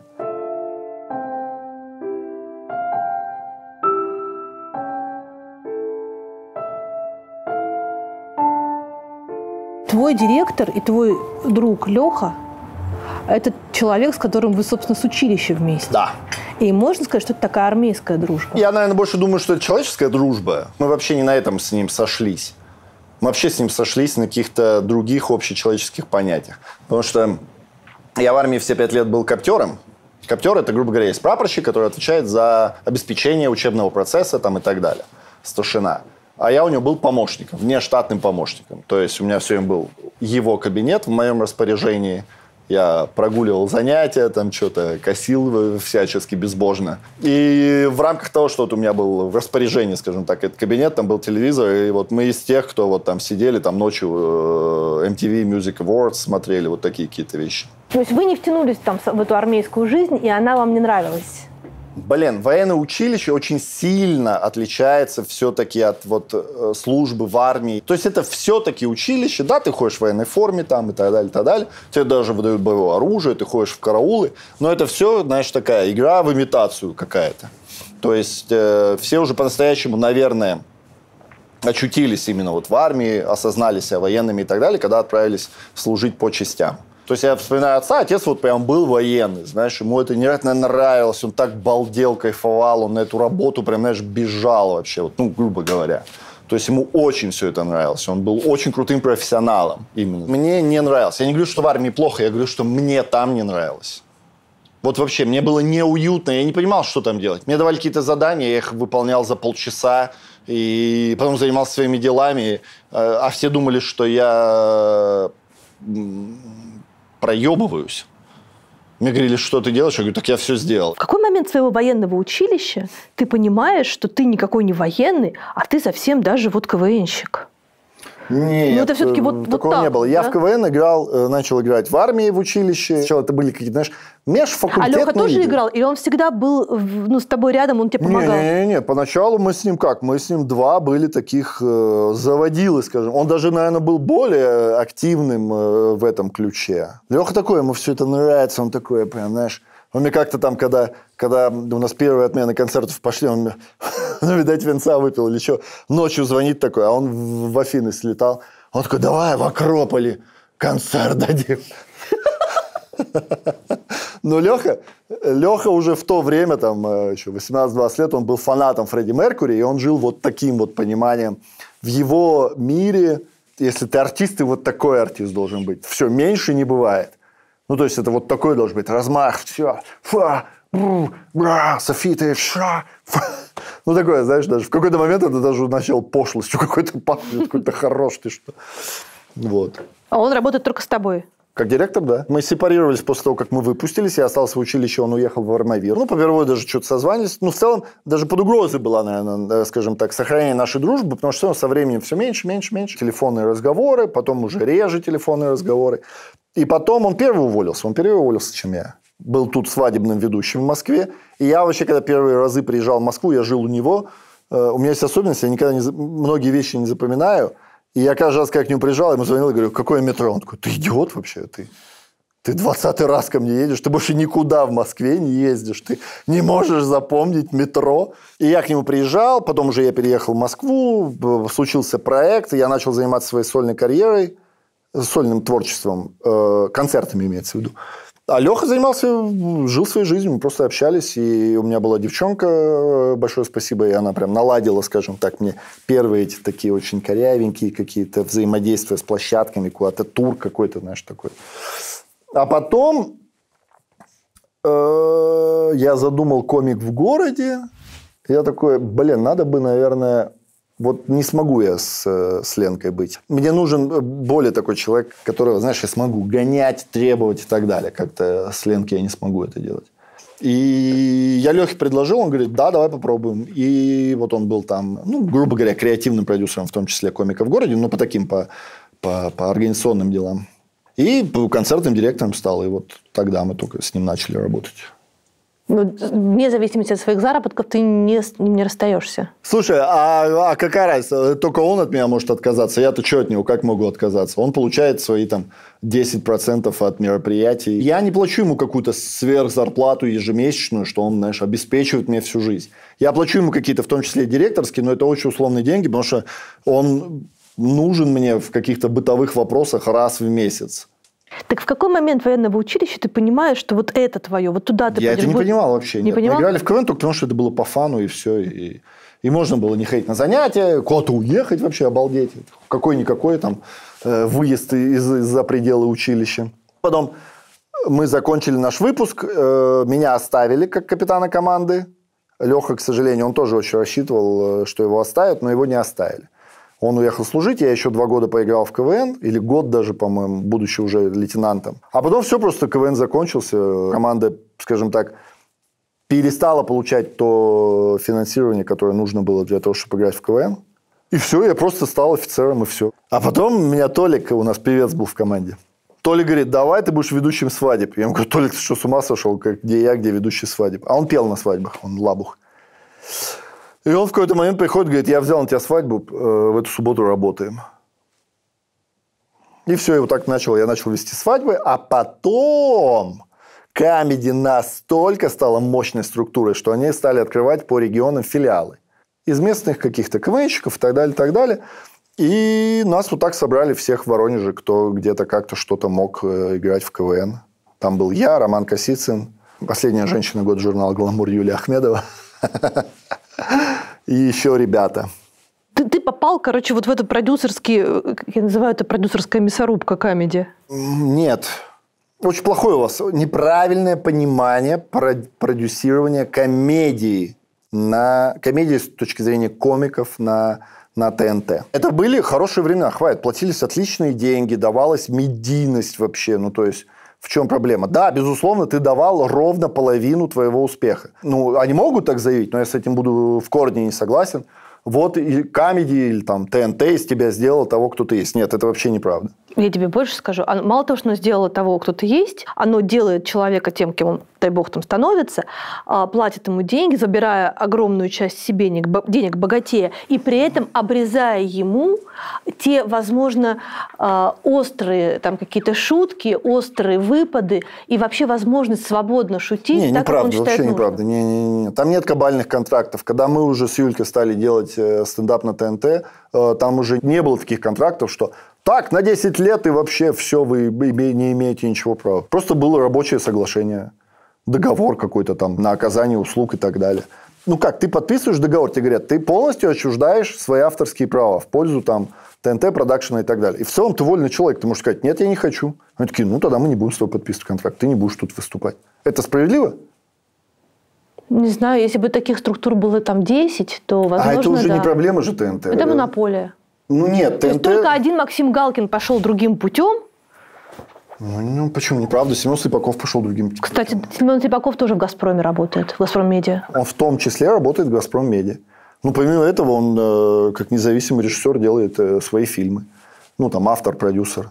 Песни свои выпускал на канале. Не-не-не, Что-то попел Слепаков в сам себе «Камеди», человека, потом- да, человек-оркестр. Ну, то есть, тут, мне кажется, все зависит от того, насколько ты просто веришь в свои силы и насколько ты готов, либо не готов. В моей жизни был тот момент, когда ну, меня устраивали эти условия, никаких проблем с этим нет.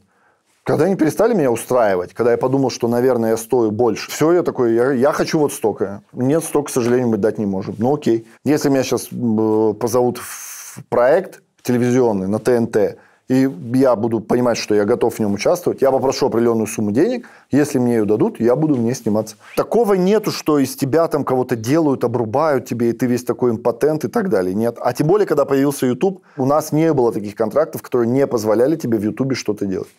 Ну, уже в последние годы, я имею в виду. Ну, то есть у предыдущего поколения комиков такие контракты были, а у вас уже Да, у нас уже не было. А почему? Ну, потому что все понимали, что это YouTube, и ты в любой момент можешь что-то придумать, и ты уже как бы не соглашался на это. Либо тебе давали эксклюзив на год, за который тоже платили деньги, и согласно нему ты там не мог ходить на другие телеканалы. Ты мог пойти там, например, если ты хочешь пойти в вечерний Ургант, тебе там надо, грубо говоря, спрашивать, вы не против, если я пойду в вечерний Ургант? Они либо были против по каким-то своим причинам, либо отпускали тебя. Но за этот эксклюзивный контракт тебе за год платили эти деньги. И тут весь вопрос только в том, что ты такой, так, я оцениваю себя в эти деньги, я оцениваю свою эксклюзивность, что этот год буду только на ТНТ, и меня не будет даже в интернете там и нигде. Если да, то ты э, получал эти деньги, и все было нормально. Это честная игра? Я считаю, что да. А в этом контракте э, были условия про то, что ты э, о чем-то не говоришь, Нет, что-то не нет, комментируешь нет, нет, и на какие-то темы не выступаешь? Там было, что ты отчуждаешь материал, и дальше уже правообладатель э, вправе использовать его как ему будет угодно. Все. Ну, соответственно, это подразумевает их э, редактуру. Я имею в виду, там, не давать интервью на такую-то тему, там, не критиковать. Нет, вот такого точно нет. Нет, да? Нет. Ты все интервью, все запросы должен проводить просто через пиар-службу ТНТ. Вот и все. Слушай, смотри, ты прежде, вот ты там, не знаю, пятилетний, трехлетний даже, допустим, давности, ты гомофоб, ты э, с, э, супер там патриархальных каких-то этих скреп, Сексист. сексист, Да, стопроцентно. вообще. ты а, любишь люкс. Ну да, но это, наверное, знаешь, это э, по большей части это еще в первую очередь, конечно, и от бедности вот той, которую, которую мы все хватанули в 90-е. И, конечно, да, это от бедности вот этой. Кто, что, как сделало так, что ты это все в себе поборол? Ты стал другим абсолютно. В первую очередь, конечно, мое собственное окружение. Ну, блин, ты тот, э, что ты ешь, да, и ты тот, наверное, с кем ты дружишь, с кем ты общаешься. Меня окружают очень крутые люди, мои друзья вообще просто шик, блеск, красота. Ну, то есть Юлька Ахмедова, которая которая из меня точно вымыла сексизм, э, гомофобию, наверное, в том числе. И, наверное, проблемы у нас, когда с ней были в этом отношении, они были связаны в первую очередь с этим, потому что я, конечно, неосознанно, но пытался и подавлять ее, и, типа, наверное, это было, типа, что? С женщинами тут что-то будет говорить, там, и так далее. Тимур Каргинов, наверное, мне привил какое-то чувство вкуса, что ли, знаешь, в, какие, в какой-то музыке. Я не слушаю ту музыку, которую он слушает, но он привил это. Я не пользуюсь всеми его советами. Посмотри этот фильм, послушай эту музыку, посмотри эту документалку, там, э, съезди туда-то. Но иногда, когда я это делаю, так замечаю. Я, знаешь, я такой человек, вот Леха не даст соврать, он мне что-то говорит, я в первую же секунду ему говорю, нет, ты это вообще ты ахинею несешь. А через два дня я такой, ну да, он прав. И поэтому вот там Тимур мне что-то где-то скажет, я такой, началось, да. А потом через два дня я такой, не-не-не, да, это есть в этом. Творчески Ахмедова тоже сильно на меня повлияла. Она, конечно, она творческий гений вообще стопроцентный. Она... А приведи пример, вот как вот ваши отношения с ней разладились? То есть вы с ней знакомитесь во время КВН, а? Ну да, грубо говоря, в Воронеже, да, мы там едем работать, э, меня позвали в «Смех без правил», я ее нанял автором, э, какие-то там смешные деньги вообще и так далее. И То есть это сразу было не ругались. очень равное положение? Да, конечно, безусловно. Но не в этом ключе. Она тогда была с таким чувством юмора, я был с каким-то таким, таким, знаешь, чувством юмора. Я помню, она финал у нас был, финал, который я выиграл. Она мне написала шуток там в тот монолог, который я рассказывал. А мы так посрались перед финалом. Просто невероятно, знаешь. Вообще просто невероятно. Мне в какой-то момент казалось, что у нас с ней не дружба, а что мы с ней 30 лет живем в браке. И мы так ненавидим друг друга, знаешь, вот какое-то такое было. Я помню, она перед финалом мне тоже, ну, молодец, потому что я выиграл. Она говорит, я не хотела этого делать, но подошла, так говорит, на. И я там шутки какие-то прочитал, там, вставил их и выиграл. Вот. И потом она переехала в Москву отдельно, вообще абсолютно без меня. Писала комедий Woman уже. Я что-то своими какими делами занимался там. Как-то приехал в Москву, что-то на пару дней у нее остановился. Она говорит, не хочешь попробовать писать комедий Woman? И вообще, говорит, в Москву переехать. А тогда не было, то есть, понимания. Убойная лига закончилась, я все между вообще непонятно чем занимался. Я такой, ну давай, пошел э, писать с ней Comedy Woman. Через два месяца вообще я не понимал, что я там делаю, потому что я вообще не, не умел писать такое. Вот вообще. ты женщинам шутки писал? Ну, в Comedy Woman тогда и мужчины были. Ну, неважно, я имею в виду, что я не умею писать какие-то миниатюры, какие-то номера, еще чего-то. И я ей тоже через два месяца говорю, Юля, это очень плохо, потому что, ну, я могу сидеть здесь просиживать штаны, но это как-то странно. Вот, и я перестал писать Woman, э, потому что это вообще, это по- ни одной шутки, по-моему, туда не написал.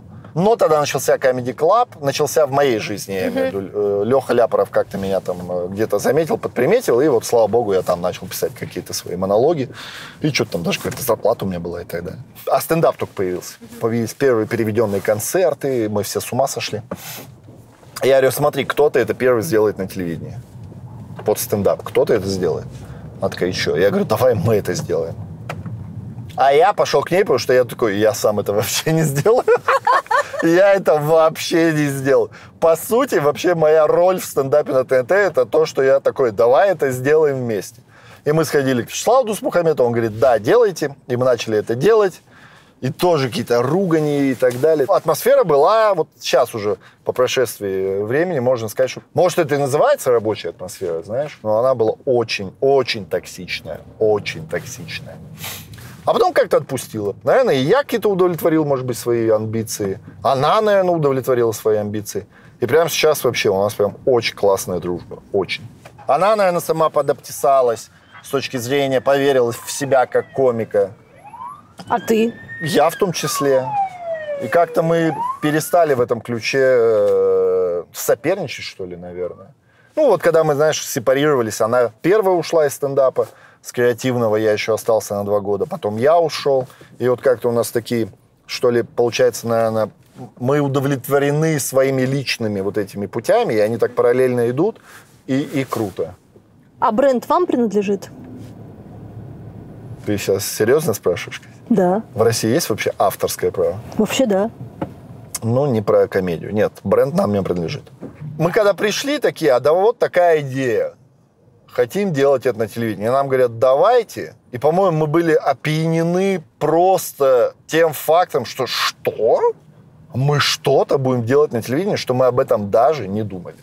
Это было невозможно, чтобы нам это принадлежало, потому что нам надо было это самим продюсировать, делать снимать и продавать на канал, например. Как Камеди и делал в свое время. Они снимали отдельную передачу, продавали на канал, а потом уже канал «Газпром Медиа» выкупили у них полностью весь продакшн. Ты скучаешь по этим телевизионным временам? По тем временам я не скучаю. Они были очень тяжелые. Блин, ну их нафиг. Но это было, блин, непонятно, что это было. Это было вообще никакой романтики. Мы просто до 4 утра работали. Мы когда первый пул сняли, с Ахмедовой в Чайхане сидели. Я на нее смотрю, я думаю, она на меня смотрит, я думаю, мы постарели лет на 15, наверное. Это был такой ужас, поэтому вообще никакого такого ностальгического воспоминания о том периоде нет. Сейчас же э, есть возможность, э, грубо говоря, то, что ты там выкладываешь что-то в YouTube или это показывают на телеке, ну, по крайней мере, до этого момента это было то же самое было. Кстати, да, наконец-то поставлен вопрос в том долгом споре, кто победит, интернет или, телевидение. Ну и кто? Телевидение. Прям сейчас ты что, не видишь, что ли? Нет. Ну, давай. Ну, я смотрю свою маму, и телевидение побеждает сто процентов вообще, так что... А я смотрю свою и нет. Да? Да. Тогда один-один. А по ТНТ ты скучаешь? Ты переживаешь, что ты ушел? Нет. А я как будто бы, знаешь, там, э, как сказать, полностью, ну, как это, такое бы хорошее слово подобрать полностью израсходовался. Я там выполнил все свои задачи. Мне больше, мне нечего было дать больше ТНТ. Вот я не могу так уже шутить. Нет у меня такой потребности такой нет. И, наверное, я бы прямо сейчас уже там не прошел бы редактуру с точки зрения плотности юмора, темы и всего остального. Как будто, вот знаешь, как это отношения в хорошем смысле исчерпали себя. Мы разошлись с хорошими друзьями. Типа вот, вот, вот так как-то. Что должно случиться, чтобы ты женился? Так, подожди. Тут подвох есть в Нет. вопросе или... А как он так странно сформулирован? Что должно случиться, чтобы ты жена? Ну, согласен. Чтобы я встретил ту женщину, которой мне захочется сделать предложение, и она ответит мне взаимностью. Ты сейчас влюблен? Ням-ням-ням. А я на пути к этому. Мне очень нравится э, та девушка, которая сейчас рядом со мной. Что должно случиться, чтобы ты женился? Эм, Ну, чтобы я уже окончательно проникся к ней всеми, всеми чувствами, которые у меня имеются. И сделал ей предложение, и в ответ услышал «да». Все, все банально. Ты знаешь, что в марте 2022 года в России было зарегистрировано рекордное количество браков. Серьезно? А с чем связано? А люди испугались. А, И побоялись о, потерять друг друга в это сложное время. Блин, круто. Либо побоялись быть одни. Либо сейчас в ускоренном режиме делают четверых детей. Это отсрочка от мобилизации. Я все изучил.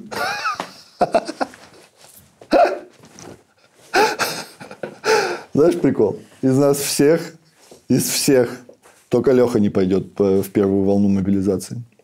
Почему? У него отец инвалид первой группы. А Он единственный кормилец. Он же тут попал в фильм Балабанова. Господи, обалдеть вообще. Каким образом? Блин, не знаю, стоит ли рассказывать. Но он никогда не против, чтобы я это рассказывал. Ну, расскажи. У него ковид выкосил всю его семью, вообще всю, на дистанции в неделю. Кошмар. Да, остался в живых только один отец, который уже два года болеет онкологией четвертой стадии. И они все эти два года его хоронили. В какой-то момент какого родственника, когда отец вышел из больницы и посчитал, что его неправильно похоронили, его перезахоранивали. А фильм Балабанов, да какой из фильмов-то? Я никогда в жизни не слышала термин «балабановщина». Ну, это вот это вот, э, когда все плохо, когда глубинка, провинция, э, алкоголизм, скрепы, э, очень однобокий взгляд на жизнь, религия, все вместе вот это вот, знаешь, такое. Ну, мы разговаривали о том, что когда можно шутить после... Ну, да, да. Ну, вот уже можно. Ну, у него вот умирает мама, умирает бабушка, потом там есть какая-то бабушка еще, за которой следила мама, а она лежачая уже 20 лет, потому что ей, по-моему, 164 года. И у нее есть какой-то сын, который тоже за ней ухаживает, но непонятно, ухаживает он за ней или нет. И Леха думает, ну надо, мама ухаживала, надо им хоть продуктов отнести. А они ему звонят, говорят, мы что-то тут кашляем все, у нас на, на ангина. И он такой, я вам пакет тут оставлю. Э, а на следующий день ему звонит участковый, говорит, Алексей Хлыстов, да. Э, тут, тут у нас э, труп человека, он оставил записку, что в случае чего звонить вам. А это вот этот вот, дя, вот этот вот чувак, который написал, я так больше не могу, и Лехин телефон. Ну, потом выяснилось, что у него там 20 лет назад была диагностирована какая-то самая жуткая депрессия, ему прописали э, таблетки, он этих таблеток наглотался. И я так больше не могу, видимо, типа, что мама его э, вот так уже 20 лет лежит, а на следующий день умирает эта мама.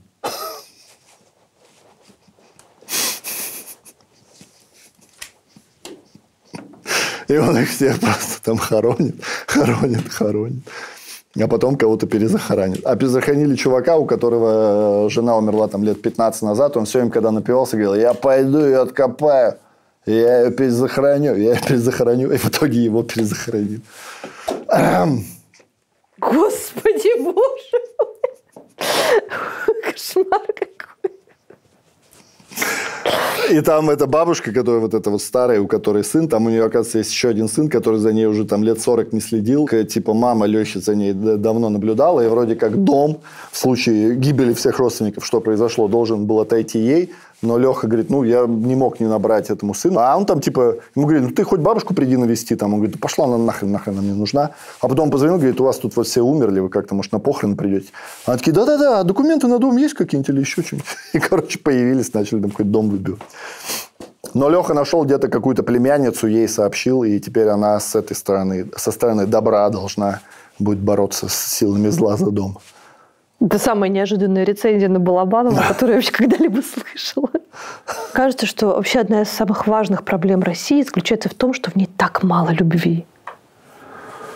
Э, да, про любовь, конечно, сто процентов. Я, ну, я думаю, я любить начал после 35 вообще как-то. Ну, любить не в смысле как мужчина-женщину, а вообще просто любить людей. Близких себе людей и так далее. Все равно, мне кажется, до этого как-то я так очень эм, ну, любить имеется в виду вот прям как-то их ценить, вот так просто любить.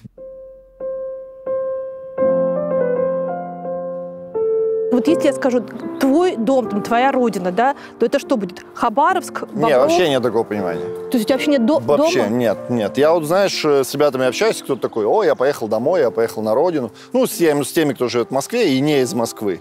И у меня вообще нет такого ощущения. То есть я приезжал в Хабаровск, и я ничего не чувствовал.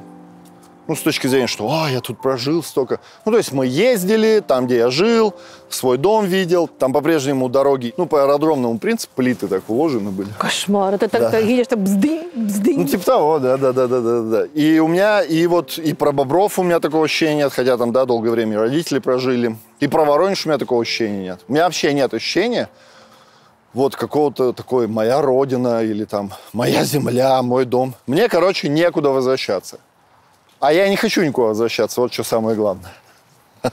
А родину ты любишь? А сейчас надо вот в, этом, в, это, в это время надо точно уточнять, что такое Родина. Давай тогда пойдем от печки. Что такое родина? Ха! Помнишь, я тебе рассказал, что у меня нет места, где вот я куда, с, с чем я себя вообще ассоциирую? У меня иногда есть размышления, они только формируются. Их, к сожалению, нельзя массово рассказывать людям. Я их могу доверить только каким-то своим очень близким друзьям. Например, в этом плане я ненавижу подвиг. Любой. Потому что я считаю, что если пришло время для подвига, значит, все было проебано. Я каждый раз, когда что-то такое слышу, такое, там, не знаю, пожарной ценой жизни спас там. А я начинаю отматывать такой, а почему дом загорелся? А почему не было сигнализации? А почему так поздно сработали, понимаешь? А, там починили не вовремя. Газ прорвало. Почему прорвало вообще? Там, а кто-то обслуживал его, там, по идее, газовые службы и так далее, и так далее. И в плане Родины у меня тоже такое отношение, знаешь. Вот мать любить надо. Ну, по идее, надо, правильно? Ну, По идее, да. Да. Ну, Но кажется, мать может же делать какие-то поступки плохие. Может быть, пьющая мать.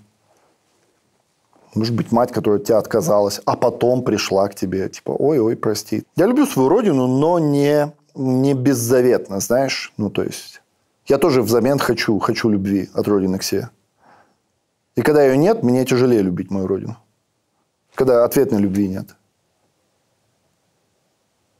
Круто. Выбери, пожалуйста, милосердие или справедливость. Ну, наверное, лет пять назад еще была бы справедливость, сейчас милосердие. Возможно, через год будет э, желание. Я думаю, что возникнет желание справедливости. Ну, если ты понимаешь, да, про что я говорю. Я думаю, оно, к сожалению, оно возникнет, я думаю. Свобода или стабильность? Тяжелый вопрос, как будто я прямо сейчас на него отвечаю. Не тебе, а вообще как вот в этой жизни. Я думаю, знаешь как? Я думаю, что свобода – это навсегда, а стабильность может быть временная. И даже в какой-то момент, выбрав стабильность вместо свободы, ты точно ее потеряешь, эту стабильность. То есть, поэтому свобода. Правда или безопасность? Опа. А это не то же самое, что свобода или стабильность? Нет, свобода подразумевает э, правду. Да свободно Стаб- говорить правду, говорить подразуме- неправду. Нет, стабильность подразумевает безопасность. Это вообще абсолютно тождественное понятие. То есть будем Тот считать, что этот выбор вопрос. сделан? Да, тот же самый вопрос. Я никогда в этом смысле так не думала. Ну как, свобода? Свобода это, свобода это говорит правду. Правда лучше всего экономит время. Есть ли шутки, которые стоят свободы и стабильности, Э, и безопасности? В этом плане нет вообще нет. Нет таких шуток. Если бы я был в начале карьеры, э, когда ты трясешься за каждую шутку, потому что ты в начале, ты вообще просто в целом в шоке, что у тебя получилось шутку придумать.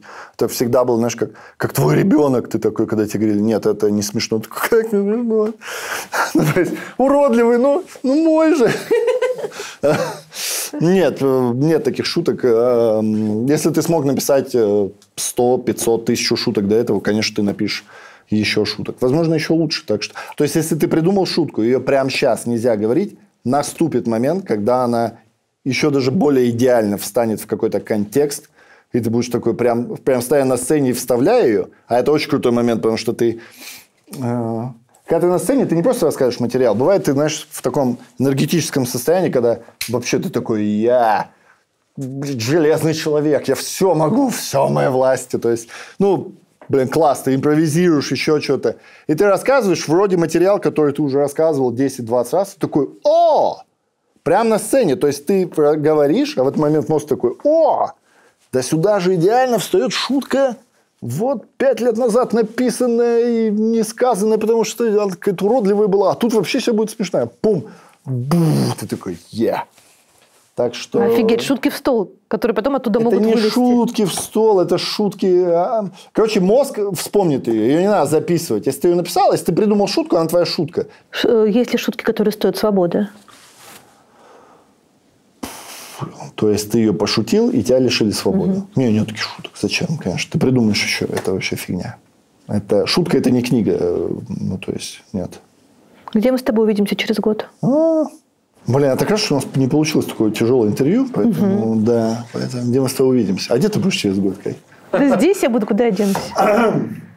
Не знаю, давай что-нибудь себе пообещаем, что ли, блин. Я тебе говорил уже, что сейчас концерт у меня, который был до всех этих событий, и вот он сейчас в этом свете звучит очень, очень легко, викториански. То есть его сейчас надо будет опять перелопачивать, переделывать, добавлять, на мой взгляд, ну, я имею в виду, вот той тяжести, которую я хочу получить от своего выступления. Не в смысле там э, повестки, а вообще, ну, значит, надо копнуть в другую какую-то социальную сферу, там, или, может быть, в себя копнуть, еще куда-то. Так что я пробую за этот год на- наполнить его каким-то, каким-то, ну, новыми шутками, новыми смыслами. Ну, давай позову тебя через год на свой концерт. Ладно, тубу порешим. Договорились. Да.